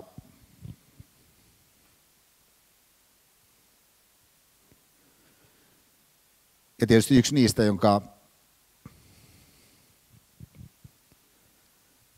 jonka maajoukkuepa jotain jäädytetty. Mutta mielenkiintoista tässä on nyt meidän tarkastelun kannalta erikoisesti se, että et, et vaikka Helmin on näin ää, kokonaisuutta ja toisia ihmisiä, toisia toimijoita ajatteleva epäitsikäs hahmottaja, niin itse asiassa niin, niin oikeastaan muistaa sen väärin tämän tilanteen. Ja sitten eräältä osin – paitsi että muistaa väärin, niin, niin sitten sivuuttaa siinä yhden elementin. Että et, et tämä mielenkiintoinen tilanne on se, että et, et kun jos me katsotaan tämä uudestaan, niin, niin ilman ääntä, niin, niin e, me nähdään, että itse asiassa Karlahti on siinä suunnilleen samassa paikassa koko ajan. Ja tässä alkuvaiheessa, niin, niin kun hän saa kiekon Karlahti, hän sitten oikeastaan suoraan menee siihen paikkaan, missä hän säilyy sen koko tilanteen läpi. Ja mitä tulee sitten tapahtumaan aivan lopuksi, nyt tämä on tärkeää, on paitsi se, että, että Karlahti, joka on siinä samassa paikassa koko ajan, toisin kuin mitä Helminen muistaa, niin sen lisäksi Timonen, joka on viivamiehenä, niin, niin, niin todella huikealla tavalla jättää viivan auki, kun meillä ei ole enää maalivahtia. Ja luistelee sieltä venäläisen takaa ja blokkaa sen ison venäläispakin pois, joka on Karahdin vieressä, sillä seurauksella, että Karahti voi olla niin vapaana, kuin hän sitten siinä maalintekotilanteessa loppujen lopuksi on. Ni, niin, niin katsokaa tämä tilanne nyt tuosta alusta lähtien uudestaan. Ups, ei päästy alkuun asti. Siinä on Karahti 42 nyt Hion kanssa. Nyt hän menee sinne, kun maalivät tulee pois. Nyt Karahti vielä omalla paikallaan. Nyt hän lähtee liukumaan sinne homakkaan. Se asettuu sinne, suunnilleen tähän paikkaan, missä hän tulee olemaan koko nyt tämän, tämän, tämän, tämän tilanteen. Saku, Timon on siellä takamiehenä. Saku uudelleen, nyt Helminen. Nyt Helminen syöttää Teemulle sinne p sisään. Just toi veto, missä olisi voinut tulla maali, mutta ei tullut. Sitten Timoselle. Sitten Saku uudelleen, takaisin Timoselle. Sitten Saku vetää. Katsokaa, miten Timonen tässä pelastaa kiekon takaisin meille. Sitten, nyt, ja nyt lähtee tämä lopputilanne liikkeelle. Huomakkaa nyt sieltä vasemmalta kulmasta, niin, niin Timonen on jättänyt viivan ja hän liukuu tuolta, tulee blokkaamaan niin, niin, niin tuossa tuon ison ää, puolustajan, joka on niin maalivahdin, maalivahdin ikään kuin vasemmalla ensimmäinen. Sieltä tulee Timonen liukuu. Nyt, nyt asettuu siihen tämän että tosi iso koko sen venäläispakin eteen. Nyt tässä tilanteessa näkyy erittäin kirkkaasti se, että kun Helmisellä on kiekko, että kuinka niin kuin huikealla tavalla vapaana Karlahti on, mutta hän on just siitä syystä näin vapaana, koska Timonen on uskallisesti jättänyt viivan, lukenut tilanteen briljantisti ja, ja blokannut pois tuon venäläispakin. Ja katsotaan nyt tämä loppu. Okei. Okay. No nyt sitten tämä kaikki mielessä. Niin,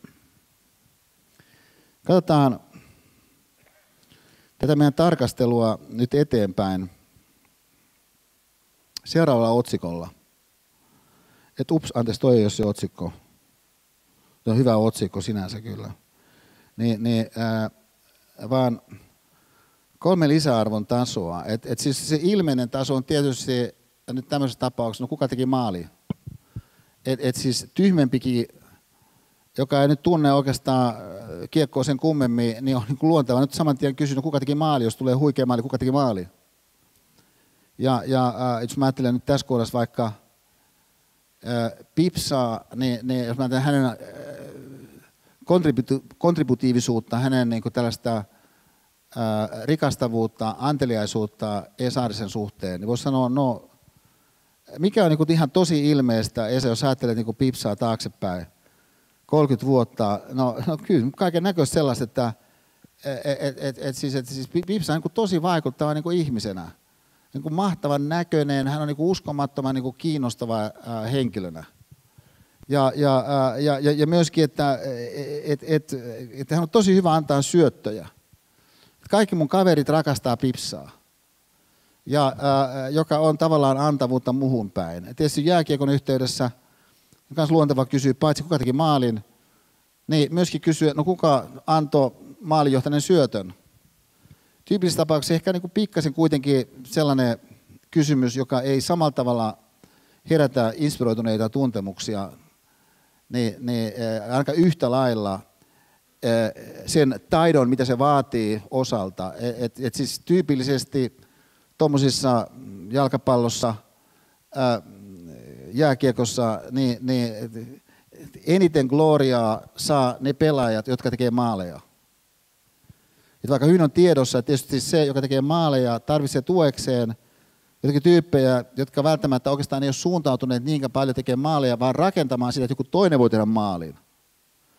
Tämä voi olla tällainen tilanne laajemmaltikin monessa ympäristössä, että joku tietty ilmeinen taso, sitä lisäarvoisuutta, sitten on joku sellainen pohjustava, syötön antava taso, joka sitten saattaa olla jossakin määrin niin, niin, äh, sellaiset, että täytyy vähän virittää mieltään, että, että ylipäänsä muistaa, kuka sen syötön anto. Tyyppinen juttu. Mutta tämä meidän kannalta erikoisen kiinnostava taso on kolmas taso, joka on se taso, joka mahdollisti sen avaruuden, jos nämä ykkönen ja kakkonen ylipäänsä voi toteutua. Joka tässä tapauksessa siis on ikään kuin tällainen gorillavertaisesti näkymä, jos käytetään sitä meidän aikaisempaa niin, niin, äh, hahmotuskuvaa koskien sitä, että, äh, et, et sulla voi olla joku äh, täysin ilmeinen elementti jossakin, jossa osaat katsoa sitä. Mutta jos, jos ei sun mieli erikseen lähde etsimään sitä, sä et löydä sitä. Et siis, että, äh, et kun kuka tahansa, ihan siihen katsomatta, kuinka paljon joku harrastaa jääkiekkoa, näkee sen tilanteen, kun sen avaa, niin kuin äsken mä sen avasin. Et aikaisemmassa vaiheessa – kun mä, äh, mä oon aika paljon käyttänyt tätä kyseistä pätkää, niin, niin mä käytin sitä jonkun varmaan äh, kolme, neljä vuotta niin, että äh, mä toin sitä esiin sen, että kuinka äh, epäitsekkäästi Helminen hahmottaa sen tilanteen, joka on upeeta. Koska tosiasiallisesti Karalahti ei ole sen tilanteen suurin sankari. Annettuna se tosiasia, että hän ei jotenkin valtava briljanssi osoittaen yhtäkkiä siirry siihen paikkaan, missä hän siinä on, annettuna se, että hän tosiaan olisi koko ajan. Niin oli se eh, hahmotustapa, minkä kanssa mä tässä liikkeellä. Ja kymmenet ja kymmenet, siis ihan uskomattomat jääkiekkokaverit niin näki mun sen esittävän. Kukaan ei koskaan pystynyt sanomaan, että, että Esa, tai hieno tämä sun analyysi, mutta sinulla yksi asia huomaamatta. Timosen rooli. Kukaan ei koskaan sanonut sitä.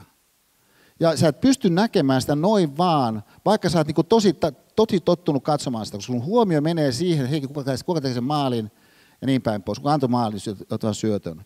Joo, näiden tietysti sitten voi sanoa näin, että et, et, äh, okei, että et, tämä ehkä asettaa, jos ajatellaan ihan se yksilötasolla, niin äh, tietyllä tavalla niin laajempiin puitteisiin sen äh, kauneuden, mikä sitten liittyy siihen tilanteeseen, että kun äh, Chicago voitti Stanley Cupin nyt tässä viime kerralla, jossa Timonen pelasi, niin tämän viimeisen kautensa nhl Niin kun sitten tämän Chicagon erittäin karismaattinen nuori kapteeni sai sen tota, himoiten, himoitun pystyn, niin kuka oli se pelaaja, kenelle hän ensimmäisenä antoi sen?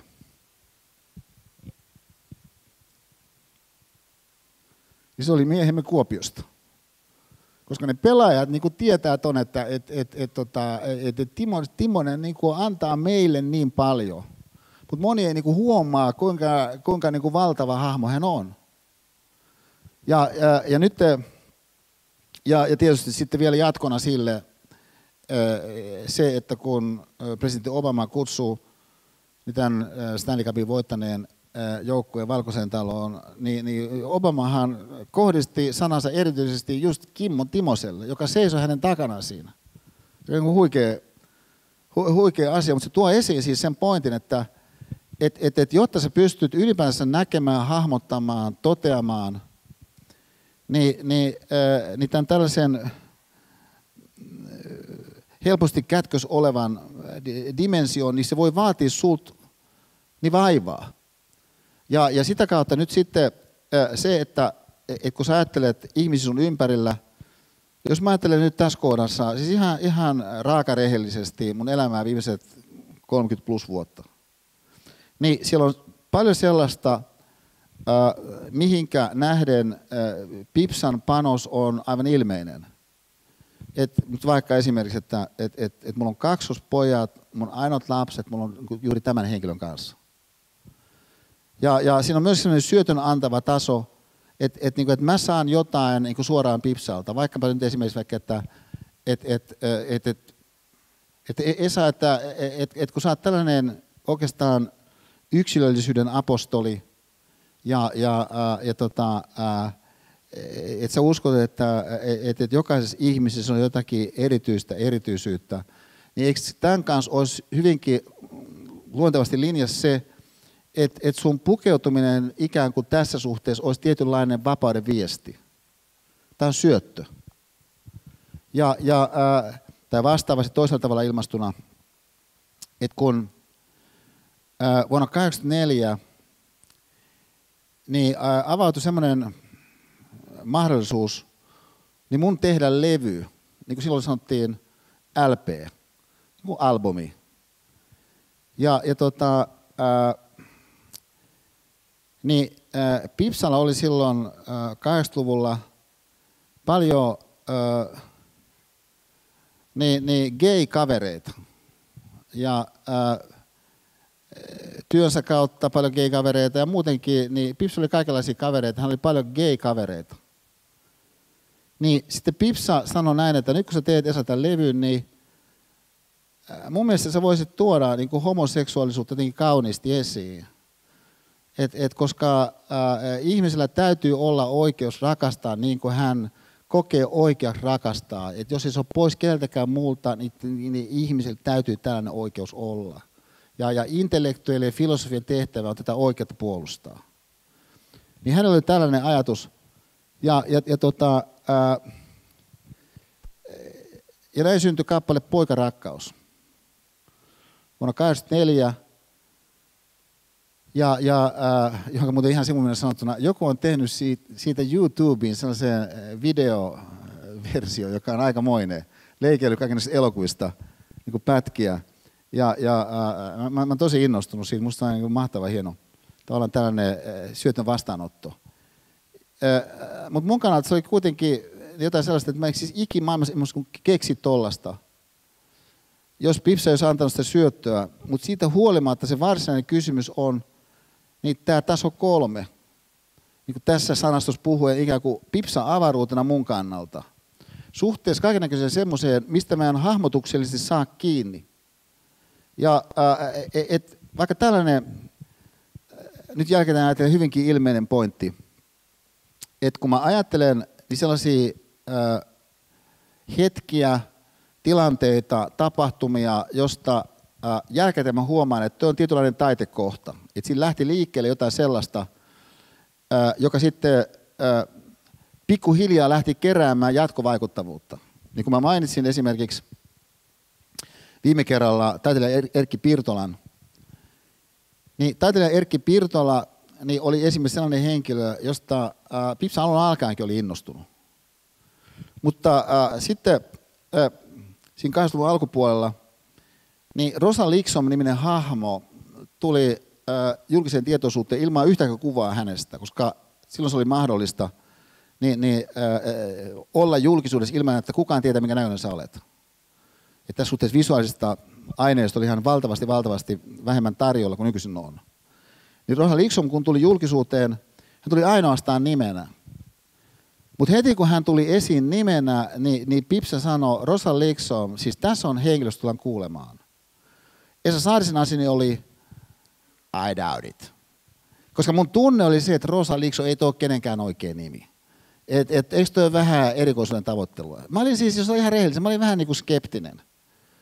Mutta Pipsa oli sitä mieltä, hän myöhemmin sanoi, että kun hän näki nimen Rosa Liksom siinä lehdessä, niin hänellä oli sellainen tunne, että ikään kuin se paino musten nousee niin kuin ylös.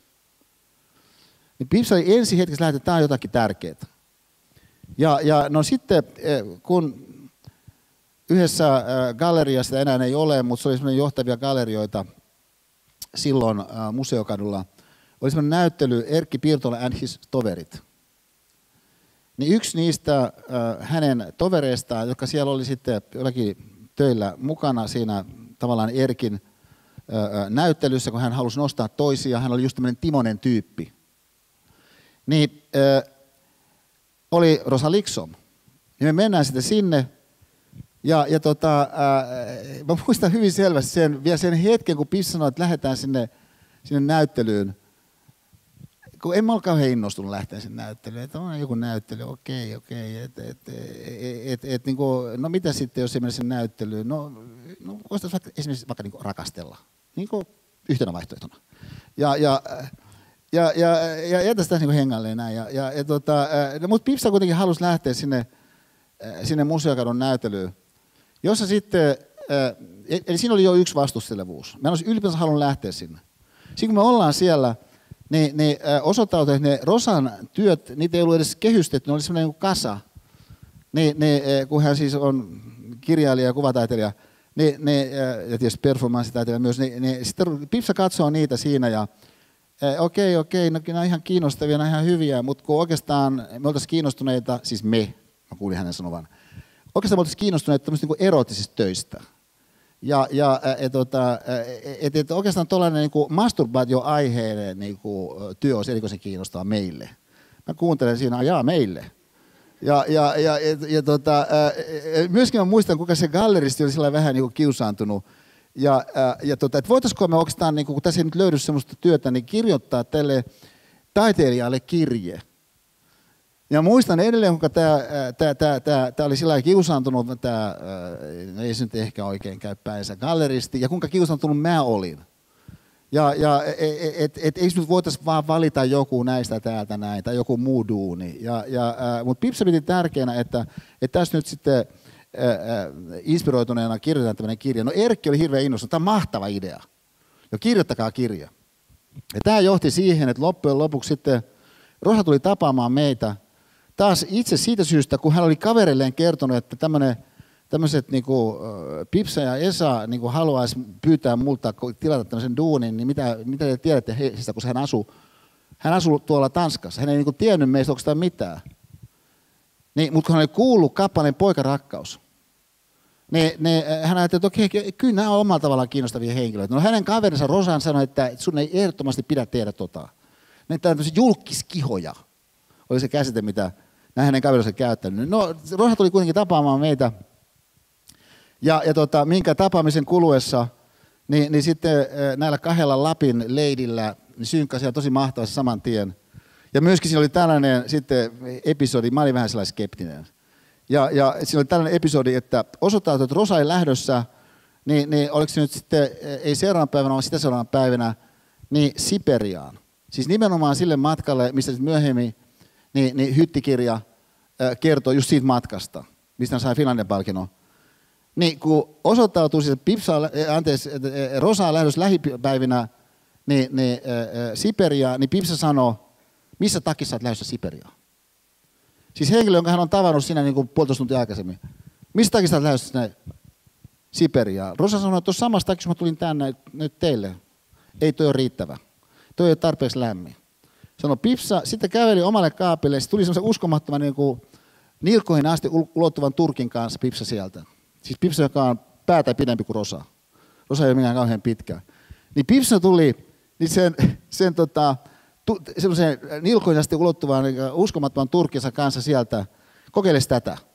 No sitten Rosa kokeilee sitä, sitä Turkkia, joka, joka niin viitoo maata siellä ja toteaa ikimuistettavasti, tämä on mulla ihan vitu jees. Jossa hän sitten lähti sinne Siperiaan. Tässä Pipsan, tämä on niin kuin Pipsan tyyliä. Ja, ja no siinä kato hyvinkään mies haukkoo henkeä vieressä ja yrittää vastustella parhaansa mukaan. Jos ollaan ihan rehellisen jälkikäteen. Mutta sitten kun se homma lähteekin toimimaan, niin kyllähän kato Saarisen pojalle kunnia ihan kivasti maistuu. Ja, ja et, et kun mä huomaan, hei, hei, hei että hän toimii, niin äh, itse asiassa yllättävän helposti mä niin unohdan, että mistä tämä ylipäänsä edes syntyi. Niin on sitä kontekstia, mihinkä nähden. Ja nyt mä esitän tässä jotain sellaista, joka äh, mä toivoisin, olisi myöskin semmoisella konkreettisella tasolla niin, niin, äh, hyödyllistä, vaikka tämä ensin on aika abstrakti tämä toteamus, koska jos me sanotaan näin kolme lisäarvon tasoa, tämä aivan geneerinen kokonaisnäkökulma. Mutta jos me ajatellaan se suhteessa ehkä niihin assosiaatioihin, mikä tällainen otsikko tai tämä merkitysmaa, missä me liikumme tänään, ylipäänsä herättää, niin, niin, niin tässä olisi yksi tapa ajatella näitä, että okei, mutta suurin niistä on rakkaus. Me ajatellaankin tämä kolmas taso tällaisena äitibriljanssitasona. Niin jos kysytään nyt vaikka näin, että okei, minkä väriset on, on sun äidin silmät? Niin jotkut pystyy vastaamaan siihen, jos ne esimerkiksi on erityisen vaikka ruskeat. Ja, ja, Mutta sitten jos ne onkin semmoiset, niin kuin monen silmät on, että ne ei ole ihan täysin selvästi minkään väriset, niin sulla voi olla vaikeuksia, onko tämä tarkemmin ajatella, ajatella että no minkä väristä onko tämä niin oli. Sä et ole sillä tavalla ikään kuin paneutunut siihen, että mitä kaikkea sun äiti on sulle itse niin antanut. Varmasti on kaiken semmoista, mitä sä mielessä et ole saanut häneltä. Mutta siis fakta on se, että on vain yksi henkilö, joka antanut sulle elämään, tämä on sun äiti. Voisi kuvitella, että tämä on niinku ihan järisyttävää, kenen tahansa kannalta. Mä muistan, kun mä olin mun äidin kanssa Ekberin kahvilassa kerran. Ja, ja tota, oltiin äidin kanssa siinä Ekberillä näin, ja sitten äiti sanoi yhtäkkiä, että miksi sä katsot mua noin omituisesti? Mä sanoin, kun mä tajusin yhtäkkiä, että perna, sä oot synnyttänyt mut. Että on se nyt aikamoinen kuitenkin pyöräytys. Aha, ei Sanne tuli, katos, tyyppinen. Ja, ja et, et, et, siis tämä näkökulma, mistä käsin nyt tultaisikin sit siihen, jos me ajatellaan se ihan näin konkreettisesti, parisuuden ympäristöön. Kuitenkin muistaen sen, että tietysti parisuhde on yhdenlainen erityisen intensiivinen vuorovaikutussysteemi, jonka takia mikä tahansa me nyt sitten siellä ympäristössä oivalletaan koskien jotain dynamiikkaa, niin ehkä sitten siirtyy jonkun asteisesti muuallekin. Mutta, mutta tässä olisi muutama vinkki niin, niin sun mahdolliselle tulevalle tai nykyiselle parisuhteelle, monen tapauksessa tulevalle. Niin, niin mä sanoisin, että kyllä yksi mikä on tärkeä on just muistaa tämä, että kuinka tärkeä tuollaisella jääkiekkojoukkueella niin on toi kato maskimiehen homma. No mikä on maskimiehen homma? No se on siis sen tyyppinen homma, ku, mihinkä Timonen tuossa meni. Hän ei ollut varsinaisesti maskimiehenä, mutta hän meni siihen ottamaan niin kuin iskuja. Ja, ja et, tota, et, et sä tiedät, joku sä meet, että sä niinku melko varmaan et tuu saamaan niinku suurtakaan gloriaa tästä, moni ei huomaa sitä ollenkaan. Sä vaan niinku otat niitä iskuja, jotta toiset sais tehdä sen jonkun jutun. Niin miinuskuuntelupalvelut on sitä, että, että kun ihmisillä voi olla tarvetta puhua jostakin asiasta, mikä häntä vaivaa. Sitten lisäksi voi olla sellainen tilanne, että niitä asioita, mikä sitä henkilöä vaivaa, onkin useampia. Sanotaan esimerkiksi neljä asiaa vaivatakin ihmistä. Niin voisi sanoa, onko kuviteltavissa, että joku henkilötä vaivaa neljä asiaa esimerkiksi, niin haluaisi puhua niistä kaikista neljästä asioista sillä ajatuksella, että hän eliminoisi ne asiat ikään kuin, niin kuin energian mielessä mielestään. Sen kautta, että se toinen kuuntelee myötä elävästi sitä, kun mä puhun niistä asioista. Että mä tavallaan eliminoin niin, niin, äh, niin sen miinusmerkkisen energian, mikä liittyy niihin asioihin, joka asiat vielä voi olla ihan täysin yhteismitattomia eikä liity toisensa mitenkään. Että onko tämä kuviteltavissa? Mä sanoisin, no toi on hyvin kuviteltavissa.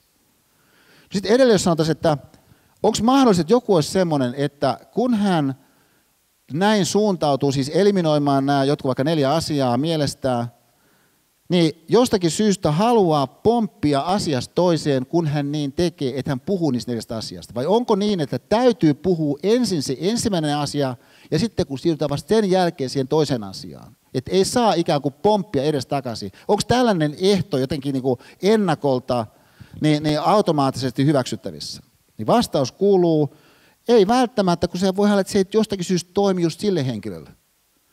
Että sehän voi olla sille jollakin pelaajalle, että hän niin kuin haluaa joskin määritysjärjestyksessä pistää ne jotkut sukat jalkaa. Että et se joku pelaaja haluaa tulla viimeisenä niin kuin sinne kentälle. Että et ihmisillä voi olla kaiken näköisiä erityistoiveita, jotka on tavallaan lainausmerkeissä niin irrationaalisia, mutta ne toimii hänelle. No jos sä rakastat jotakuta, niin eikö nyt halua, että se toimii hänelle se joku juttu?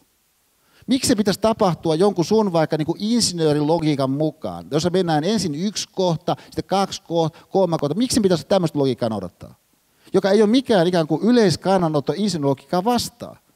Se on vaan, että se ei sovellu välttämättä just tohon ympäristöön. Niin miinuskuuntelupalvelut, teema numero yksi.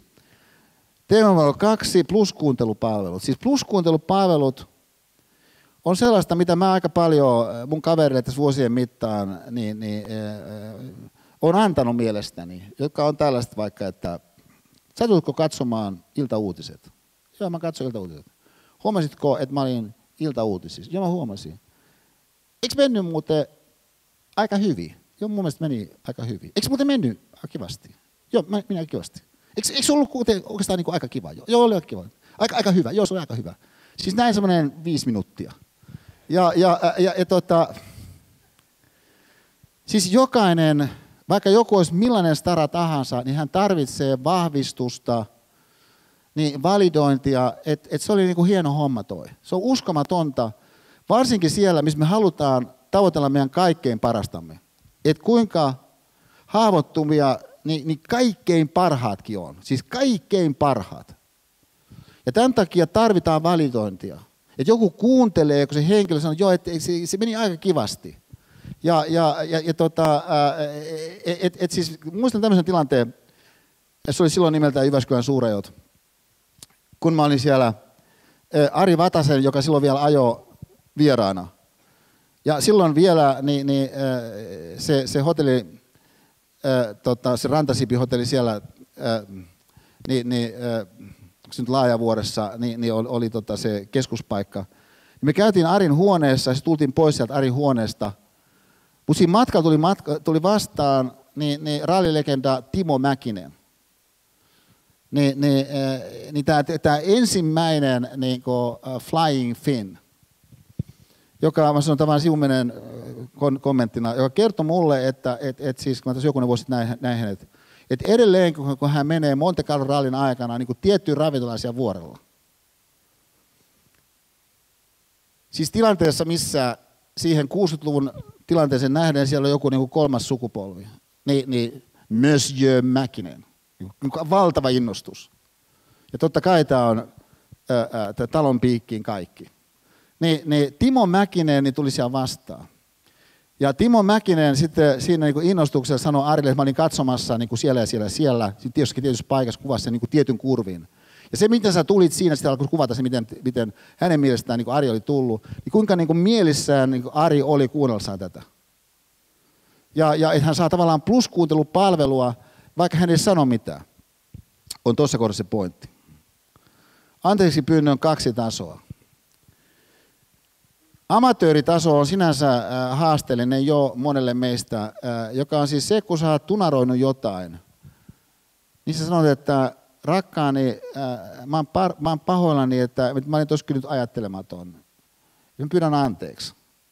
Jos sä rekisteröit sen, mitä on de facto tapahtunut, sun voi olla sille kaikenlaisia selityksiä, että sä et huomannut, kun aika juoksi, tai että et, et sun kello jätätti, tai, tai tuli joku puhelu justiin, tai mitä kaikkea syitä olikaan, e, liikenteessä ruuhkaa, niin totta kai on kaikenlaisia selityksiä, mutta siinä anteeksi pyynnössä lähdetään liikkeelle niin siitä, että, että jotain on tapahtunut sellaista, mikä seurauksena tämä sun kumppani on päättynyt mielensä, mihin sä oot osatekijä.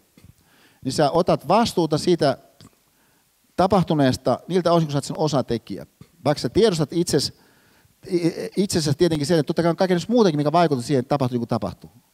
Mutta sä vastuun siitä sun omasta roolistasi, vaikkapa sanoilla, äh, rakkaani, äh, mä oon pahoillani, mä olin ajattelematon, äh, mä pyydän anteeksi.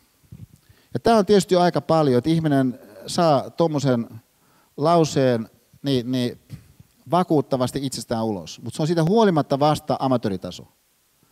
Se toinen äh, ammattilaistaso tulee, ja tässä kohdassa ilman, että väittäisin, että kaikki leirit on samanlaisia, kaikki me miehet ovat samanlaisia, ilman, että väittäisin näin, niin, niin, niin, niin kyllä tämä on meille miehille niin kuin monasti ihan tosi haasteellinen kohta.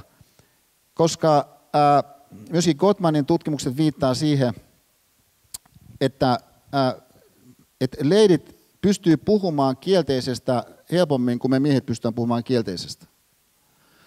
No nyt sitten, jos kuvitellaan tämmöinen tilanne, että oot herrahenkilö ja oot tunaroinut jotain, ja sitten äsken tuolla tavalla, niin sä pyydät anteeksi sun, anteeksi sun rakastetulta.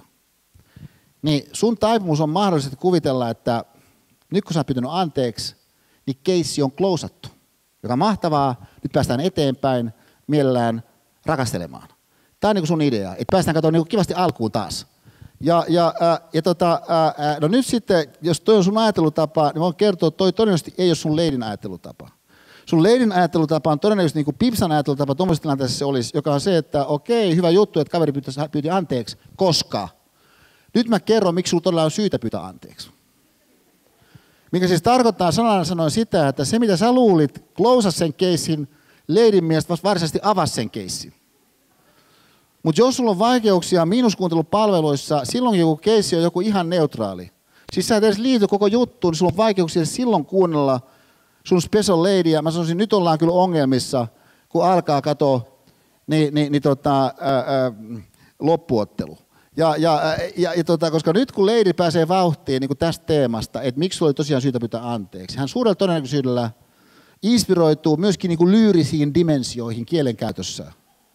Ja, ja, ja tota, just tuossa oopperallista ilmaisua mukaan äänen käyttöön. Ja, ja et, et, tota, et, et, sen takia mun neuvo kyllä, vaikka yleisesti ottaen vähän niin kuin olette huomannut, niin en, en täällä siis kuinka paljon mitään, mitään niin neuvoja tarjoile. Mutta tässä kohdassa kyllä mä sanoisin näin, niin, niin meille herrahenkilöille, että et, et sun kannattaa kyllä niin kuin tilanteessa, missä sun leidi haluaa puhua jostain, niin, niin, ja, ja jostakin sellaista, mikä, mikä sillä niin vähän haastaa sua niin nimenomaan niin kato, ottaa se sparrausympäristönä. Että lisää, lisää. Koska tulee, kato, sitten ne varsinaiset haastetilanteet silloin, kun sä todella oot mokannut jotain.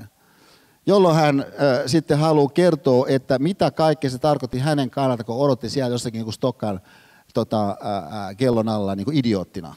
Ja, ja, ja, ja, ja, ja siis, että et se, niin se nöyrytetyksi esimerkiksi tulemisen kokemus – niin, niin on se, mistä hän siinä tilanteessa haluaa puhua. Ja sitten vielä viimeinen konkreettinen pointti. Kotiinpaluun kultainen sääntö. Lähtee liikkeelle siitä, että, että jos ajatellaan tuollaista jotakin jääkiekkoottelua, joka on päättynyt voitollisesti, ja, ja, ää, ja, ja sitten joukkue tulee sinne puhukoppiin jossa, jossa ehkä niin kuin kuoharipullot odottaa ja, ja, ja fanilaumat niin kuin siellä niin kuin innostuneesti ja näin. Niin äh, tämmöiseksi viitekehykseksi, jos tämän ajattelee, ja sitten kysyt näin, että kun sä palaat kotiin, kovan työpäivän jälkeen, kuvitellaan, että sä oot ollut ihan poskettomassa vedossa, että niin hommat on mennyt niin tosi huikeasti. Että oli niin tiukkoja tilanteita, joku, joku keskon keissi vaikka, ja, ja, ja, ja tota, mutta se on ihan mahtavasti joku keskon keissi, mikä sulla olikaan, se YITS, joku homma. Ja, ja tota, mutta mut jälleen kerran, kato, sä osoitit siis sun kaliberin. Niin, niin, äh, nyt sä tulet sitten kotiin tämän kovan työpäivän jälkeen. Nyt kysymys kuuluu, jääkiekko sanastosta puhuen, missä vaiheessa ollaan niin ottelua? Ja mä sanoisin, että no, yksi vaihe, missä sä luulet ehkä, et sä oot, on se, että ottelu on voitettu ja sä oot just nyt palaamassa takaisin katoa niin, niin sinne puukoppiin, jossa niin innostuneet fanilaamat odottaa, champagnepullit kaikki odottaa, kun sä avaat sitä sun kodin ulko Mun kertoo, tämä ei ole se tilanne, missä ollaan de facto. Ja, ja, ja siis sen takia siis tämä kotiinpaluun kultainen sääntö niin koskee sitä, että sä hahmottaisit niin sen systeemin, mihin sä tässä nyt astumassa. Systeemin. Sillä systeemillä on kaikenlaisia ominaisuuksia, jotka ottaa yli, kun sä astut sinne sisään. Jossa myöskin kaiken näköiset pienet asiat on ihan niin tosi merkityksellisiä. Ja, ja, ja sun kasvon ilmeet, äänenpainot ja, ja miten sä avaat tilanteen, miten sä reagoit siihen, miten, miten tämä sun partneri avaa tilanteen. Kaikki tämä on relevanttia. Se, että et, et, ota sä kengät pois, mutta jätät päällystakin, kun sä meet sun niin kuin, kumppanin luokse, niin voi olla relevanttia. Ja, ja siinä systeemissä. Ja, ja siis, että se kotiinpalon kultainen sääntö siis koskee sitä, että sä asetut siihen tilanteeseen sen toisen kannalta, missä hetken päästä sä oot sen toisen kanssa. Ja äh, tarkoittaa vaikka sitä, että jos me otetaan tämä insinöörillisesti, niin, niin insinöörihän, joka mielellään ajattelee kaavojen kautta, voisi sanoa vaikka näin, että okei, että mä muodostan tämmöisen kaavan, että kun mä palaan kotiin, kuvitellaan autolla, niin, niin ennen kuin mä nousen siitä autosta pois, niin, niin äh, mä, mä, mä niin kuin suuntaan itseni siihen tulevaan tilanteeseen, joka tarkoittaa, että mä myöskin nollaan sitä aikaisempaa tilannetta. Ja, ja, äh, ja mä suuntaan siihen tulevaan tilanteeseen. Mä ehdottomasti en esimerkiksi jatka puhumista puhelimessa vaikkapa. Ja, ja että mä en tuu siitä autossa ylipäänsä pois ennen kuin mä päättäisin jonkun puhelun. Koska mä siirrän mun mielen nyt siihen tulevaan tilanteeseen. Ja, ää, ja, ja sitten ää, mä erikoisesti ajattelen sitä, niin, niin tämän mun, no nyt tässä mun esimerkki maailmatapauksessa, niin, niin tämän mun elämäni naisen todellisuuden juuri tänään kannalta. Että, että mitä siellä on todennäköisesti tänään hänelle tapahtunut. Mä niin kuin paneudun siihen todellisuuteen. Ja, ja jos todellisuudessa niin luultavasti monet asiat on hyvin toisenlaisia kuin mulla oli jossakin Finlandia-talossa, mä puhuin 500 ihmiselle. Mutta se hänen todellisuutensa on se mittakaava, ihan mikä tahansa muu on hänen todellisuutensa, joka on mun elämän naisen todellisuus, jossa mä haluan olla relevantti tekijä systeemisesti älykkäästi. Niin, että ne pienet asiat, mitä mä siihen tuon, niin, niin tukee sellaisia asioita, joka meitä yhdessä vie eteenpäin. Niin on tässä se äh, ajattelutapa. Ja viimeinen kohta, tämä viimeinen kohta heijastelee semmoista mun ö, pidempiaikaista kiinnostusta niin, niin, ö, koskien mikromuutosta, siis niinkin konkreettisesti mikromuutoksen teemaa lähestyen, kuin siitä näkökulmasta sitä teemaa lähestyen, kun, että, kun tosiasia on se, että, että monilla voimaleideillä – niin, Pipsalla on tämmöinen, mutta monilla mun, mun kavereilla on niin vastaava tilanne. Että he on naimisissa jonkun uskomattoman voimaleidin kanssa, joilla voimaleidillä on näihin mun kavereihin nähden, kuten Pipsalla, ää, niin, niin käynnissä tämmöinen koulutusohjelma. Ja, ja, ja, ja, tuota, ja se ei ole mikään ihan niin kepeä. Silloin tällöin pikkasen tuommoinen juttu, vaan, vaan tämä on niin kuin oikeastaan joka päivä. Ja, ja, ja tuota, niin mä oon sitten miettinyt tässä, että, että, että mä kerran kysyin Pipsalta, että koska tämä ehkä mahdollisesti niin päättys. Että onko mitään valmistumista ehkä niin näköpiirissä missään. Niin, tässä on muutama vuosi sitten, kun mä kysyin viimeksi, niin Pipsa sanoi, että no se päättyy sitten, kun siihen on aihetta, mutta mitään merkkejä vielä ei ole olemassa. Niin, kun mä kuitenkin itse aika paljon siis tässä pedagogiikassa on toiminut, niin kyllä mun kannalta aika luontevana herää se kysymys, että okei, että jos Leidellä on tällainen koulutusohjelma ne, ne meihin nähden käynnissä, niin mitenköhän noita ohjelmia voitaisiin tehostaa? No kun mä itse olen mies, niin kyllä mä pystyn sen aika nopeastikin hahmottaa, että miten ne pystyttäisiin tehostaa ihan tosi pienellä mikromuutoksella. Että ei tarvita niin, niin, äh, ollenkaan mitään ne, ne kolme minuutin äh, slicea vaikka viikosta. Että tähän riittää ihan tuommoinen kuuden sekunnin pätkä. Ja lyhyempikin. Et, et, et siis kaikki, mitä tarvitaan, mä väittäisin oikeastaan, jotta voidaan tehdä uskomaton läpimurto useimmissa parisuhteissa.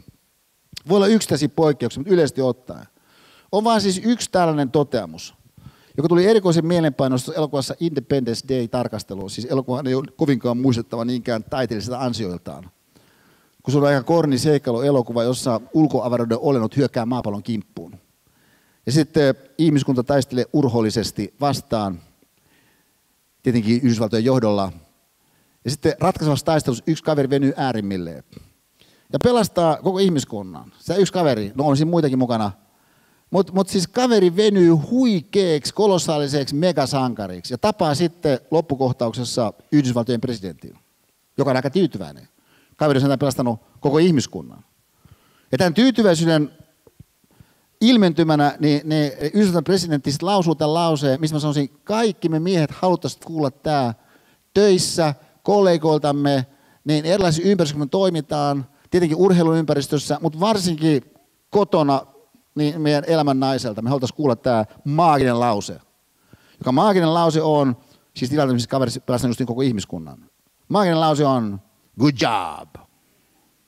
Mutta mikä tämän lauseen tekee aika haasteelliseksi monille leideille kotioloissa on, että se päättyy pisteeseen. Et huomatkaa, että, siis, että se lause siis nimenomaan ei ole ihan hyvä mutta.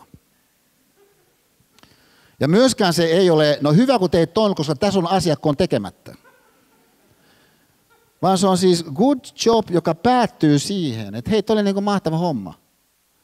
Ja, ja, ja nyt te, siis tämä good job pisteteoria, niin tuo esiin sen, että, että nythän tämä on niin mahdollisuus, jos ajattelet kaikkia näitä kohtia, ja tietenkin mä tässä pikkasen tuollaisella pilapiirrospensillä etenin.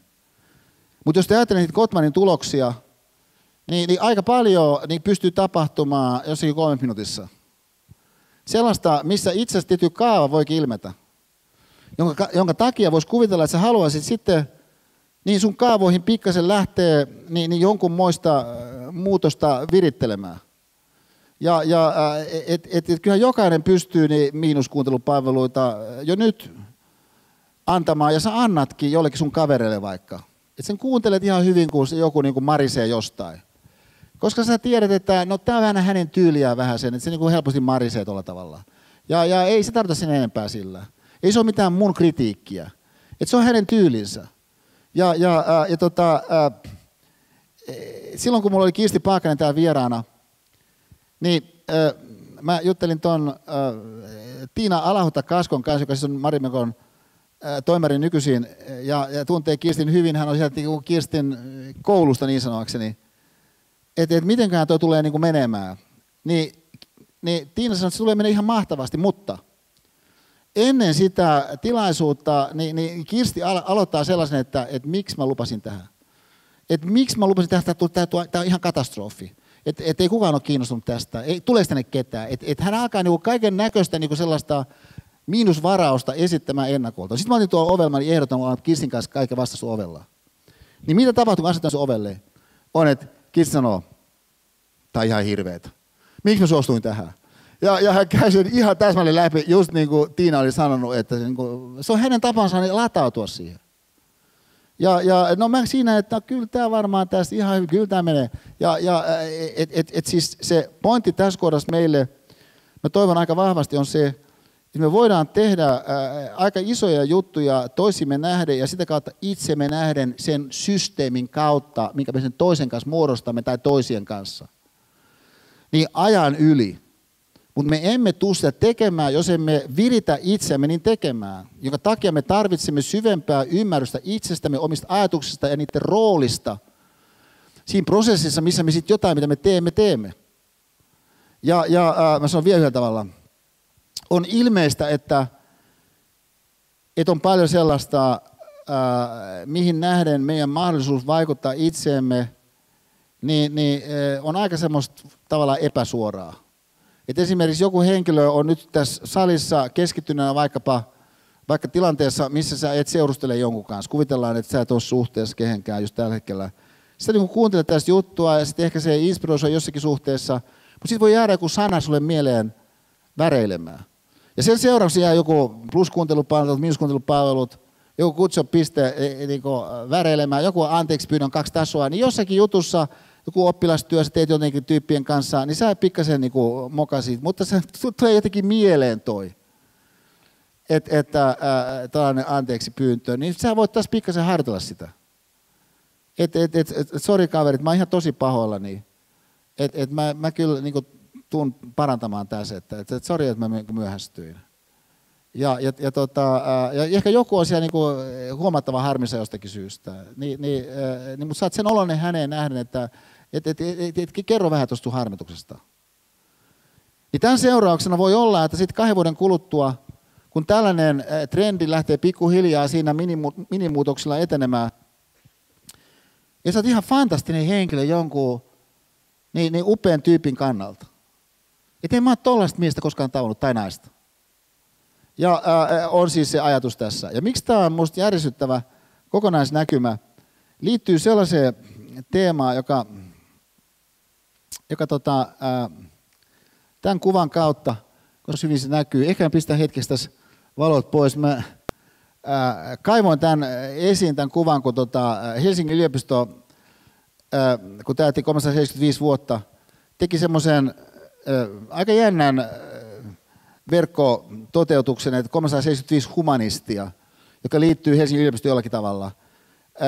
Ja, ja aina kunakin päivänä joku sitten nimetty humanisti, joka sitten on antanut aineistoa itsestään ja, ja, ja, tota, ja jonka pohjalta siellä on aika paljon aineistoa sitten jossakin tapauksessa, niin sitten jostakin tietysti humanistista. No Esa Saarisesta esimerkiksi tässä tapauksessa. Sillä on muun muassa tällainen kuva, joka on mun väitöstilaisuudesta – ja tästä on ensi vuonna siis 40 vuotta.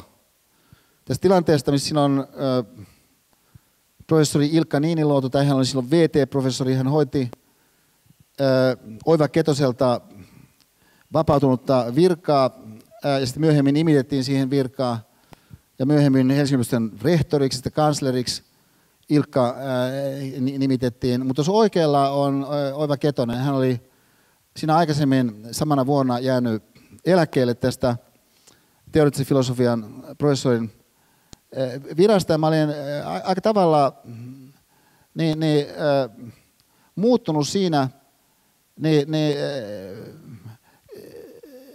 Ketosen tietynlaiseksi äh, uskotuksi. Ja, ja me paljon keskusteltiin.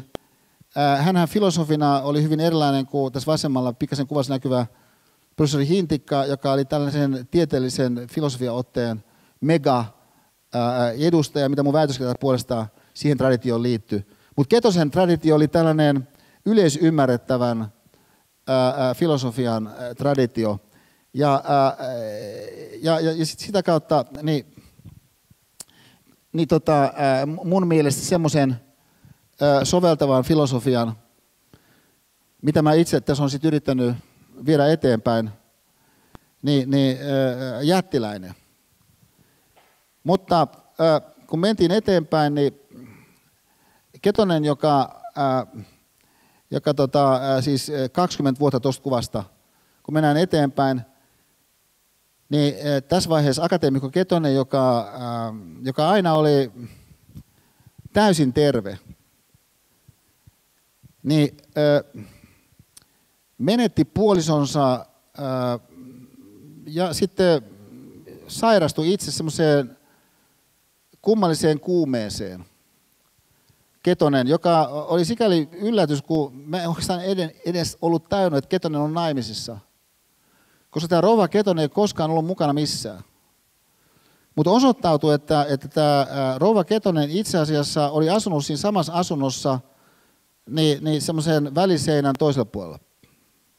Kaikki ne vuodet. Ja, ja äh, sitten kun hän äh, nukkui pois, rouva Ketonen, niin, niin äh, akateemikolle siis nousi tämmöinen äh, kuume, ja, ja tota, äh, jota oikein ei lääketieteellisesti pysty ymmärtämään, miksi hän on tämmöinen kuume, mutta Ketosen oma käsitys oli, että hän äh, elää läpi tätä epäonnistunutta avioliittoa. Hän aika paljon sitä prosessoi, munkin kanssa puhui paljon, hän kirjoitti myöskin siitä. Ja sitten hän soitti meille Pipsan kanssa kerran, että, että voitaisiinko me lähteä Janakkalan vanhaan kirkkoon. Mä sanoin, että to, toki voidaan lähteä, mutta miksi pitäisi lähteä Janakkalan vanhaan kirkkoon? No siitä syystä, että mä oon sopinut jo, hän sanoi, Janakkalan kirkkoherran kanssa siitä, että mä voisin siellä semmoisen pienen seremonian niin elää läpi, ja mä toivoisin toisin todistajina Pipsan kanssa. No sinne me sitten mennään sinne Janakkala vanhaan kirkkoon, joka osoittautui, että oli hänen ja tämän Sirkan, hänen tässä vaiheessa edesmenneen puolisonsa äh, vihkikirkko. Ja, ja sitten hän äh, luki tämmöisen lyhyen äh, paperin, akateemikko Ketonen siellä. Hän oli semmoiset pitkät, upeat punaiset ruusut tuonne, asetteli siihen, siihen, siihen, siihen, siihen tota, äh, alttarille ja hän luki tämän paperin. Ja, ja tota, äh, seuraavan päivänä meillä oli meidän ystäviä meillä käymässä, niin mä luin sitten sen paperin ja kaikki oli ihan valtavan vaikuttuneet. Mä sanoin siitä Ketoselle, että meillä oli kavereita, tota, Vuotisen Jorma oli siinä ja, ja Ari Vatanen, meillä oli muutamia meidän kavereita. Ja mä, mä luin sen sun Janakkalan paperiin. Et se teki valtavan vaikutuksen kuule ihmisiin. Niin Ketonen sanoi mulle,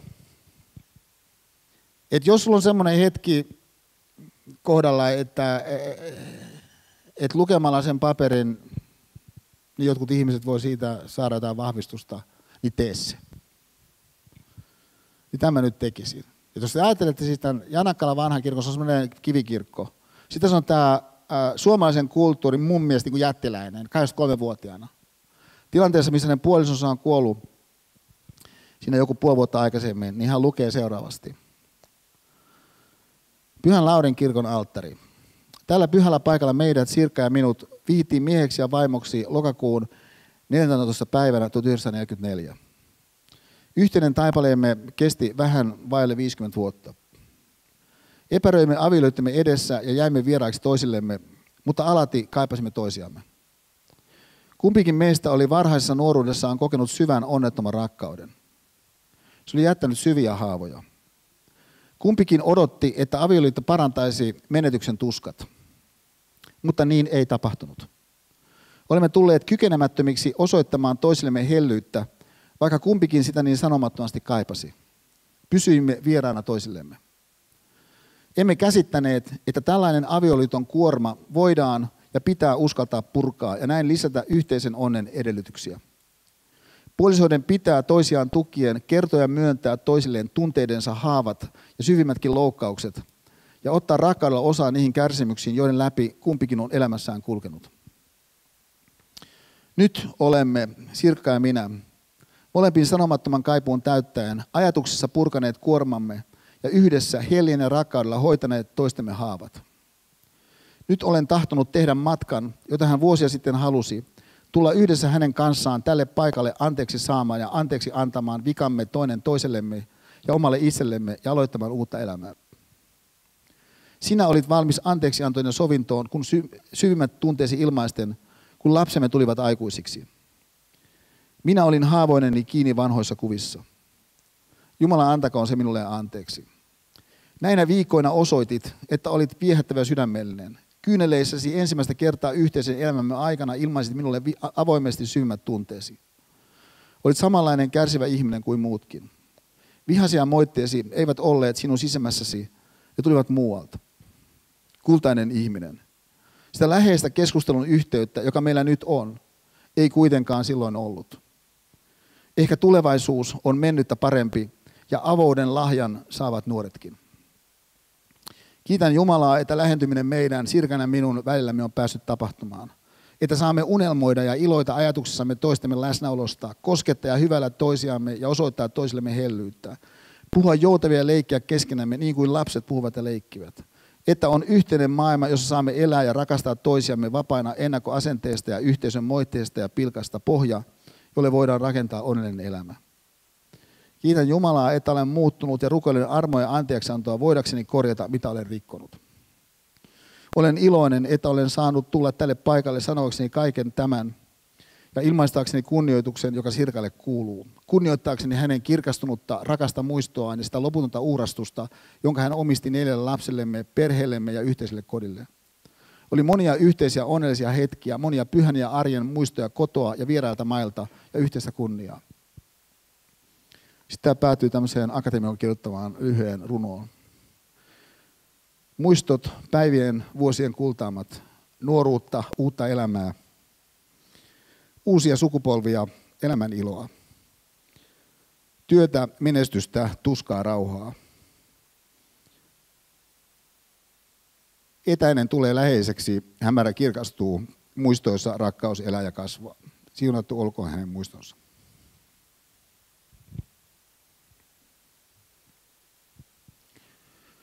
Ja jos ajattelet, että siis tässä on tämä, mun mielestä suomalaisen kulttuurin jättiläinen, joka siis valtavan sisäisen kampolin jälkeen on saanut itsensä ajattelemaan ja sanomaan tämän, niin se on jotain musta järisyttävää, mutta Sirkan kannat tulee liian myöhään. Tarkoittaa silloin mun mielestä meidän kannat sitä, että, että, että kun meidän elämämme avautuu tästä eteenpäin, niin, niin, niin kyllä siinä on siis se kysymys, että okei, no mistä käsi me sitten elämme tästä eteenpäin. Että tavallaan, jos mä sanon sen vähän ehkä keventävästi, niin tämä on niin vielä kerran sitä Jules and Vincent Revisit-teema. Siis se, että et, et jotain tapahtuu, okei, no havahtuuko kukaan siihen, mitä tapahtuu? It's freaky, but it happens. Ja, ja et, et se, mitä mä toivon, että tämä meidän luento meille antaisi niin sellaisen tilanteen, missä me voimme sitten omassa ajattelussamme käydä läpi vaihtoehtoja sellaisella tavalla, että sitten se, mitä me to, synnytämme, on siihen kokonaisuuteen nähden sellaista, kun haluamme siihen synnyttää. Myöskin kun ajatellaan se ajan akseli, minkä kautta sitten asiat loppujen lopuksi pur, punnitaan. Ja tämän kaiken mä tänään päätäisin, me mennään nyt muutama minuutti ylitse, niin, niin tota, ton ajan, mä haluaisin päättää tämän, niin, niin, ää, niin tämmöiseen kahden ja puolen minuutin ää, pätkään, joka, joka kyllä on aika voimallinen ää, muistutus siitä, että et, et, et kuinka moninainen on se toisaalta myöskin yksilön, siis meihin itsemme palautuva haaste, kappaleen My Way – kautta, jonka Shirley Bassett esittää, koska se, hän siis loistavana laulajana, siis operatason laulajana, pystyy niin sitä rekisteriä venyttämään niin tosi upeasti ja on nainen, mä sanoisin tässä kohdassa, niin se esitys ei palaudu pelkäksi sellaiseksi äh, olen kukkulan johtava sonni tyyppiseksi huutomerkkiesityksessä, niin kuin se saattaa joissakin tapauksissa miesten esittämänä tulla, niin, niin tämän haluaisin myöskin ikään kuin kunnianostuksena meidän, meidän seminaarin leideille ja meidän, meidän elämän merkityksisille leideille niin, niin, niin tota, ää, esittää. Okei, hyvät ystävät. Si- siinä mä olisin päättänyt. Kiitos keskittymisestä ja ensi kerralla päätös luentoon. Kiitoksia.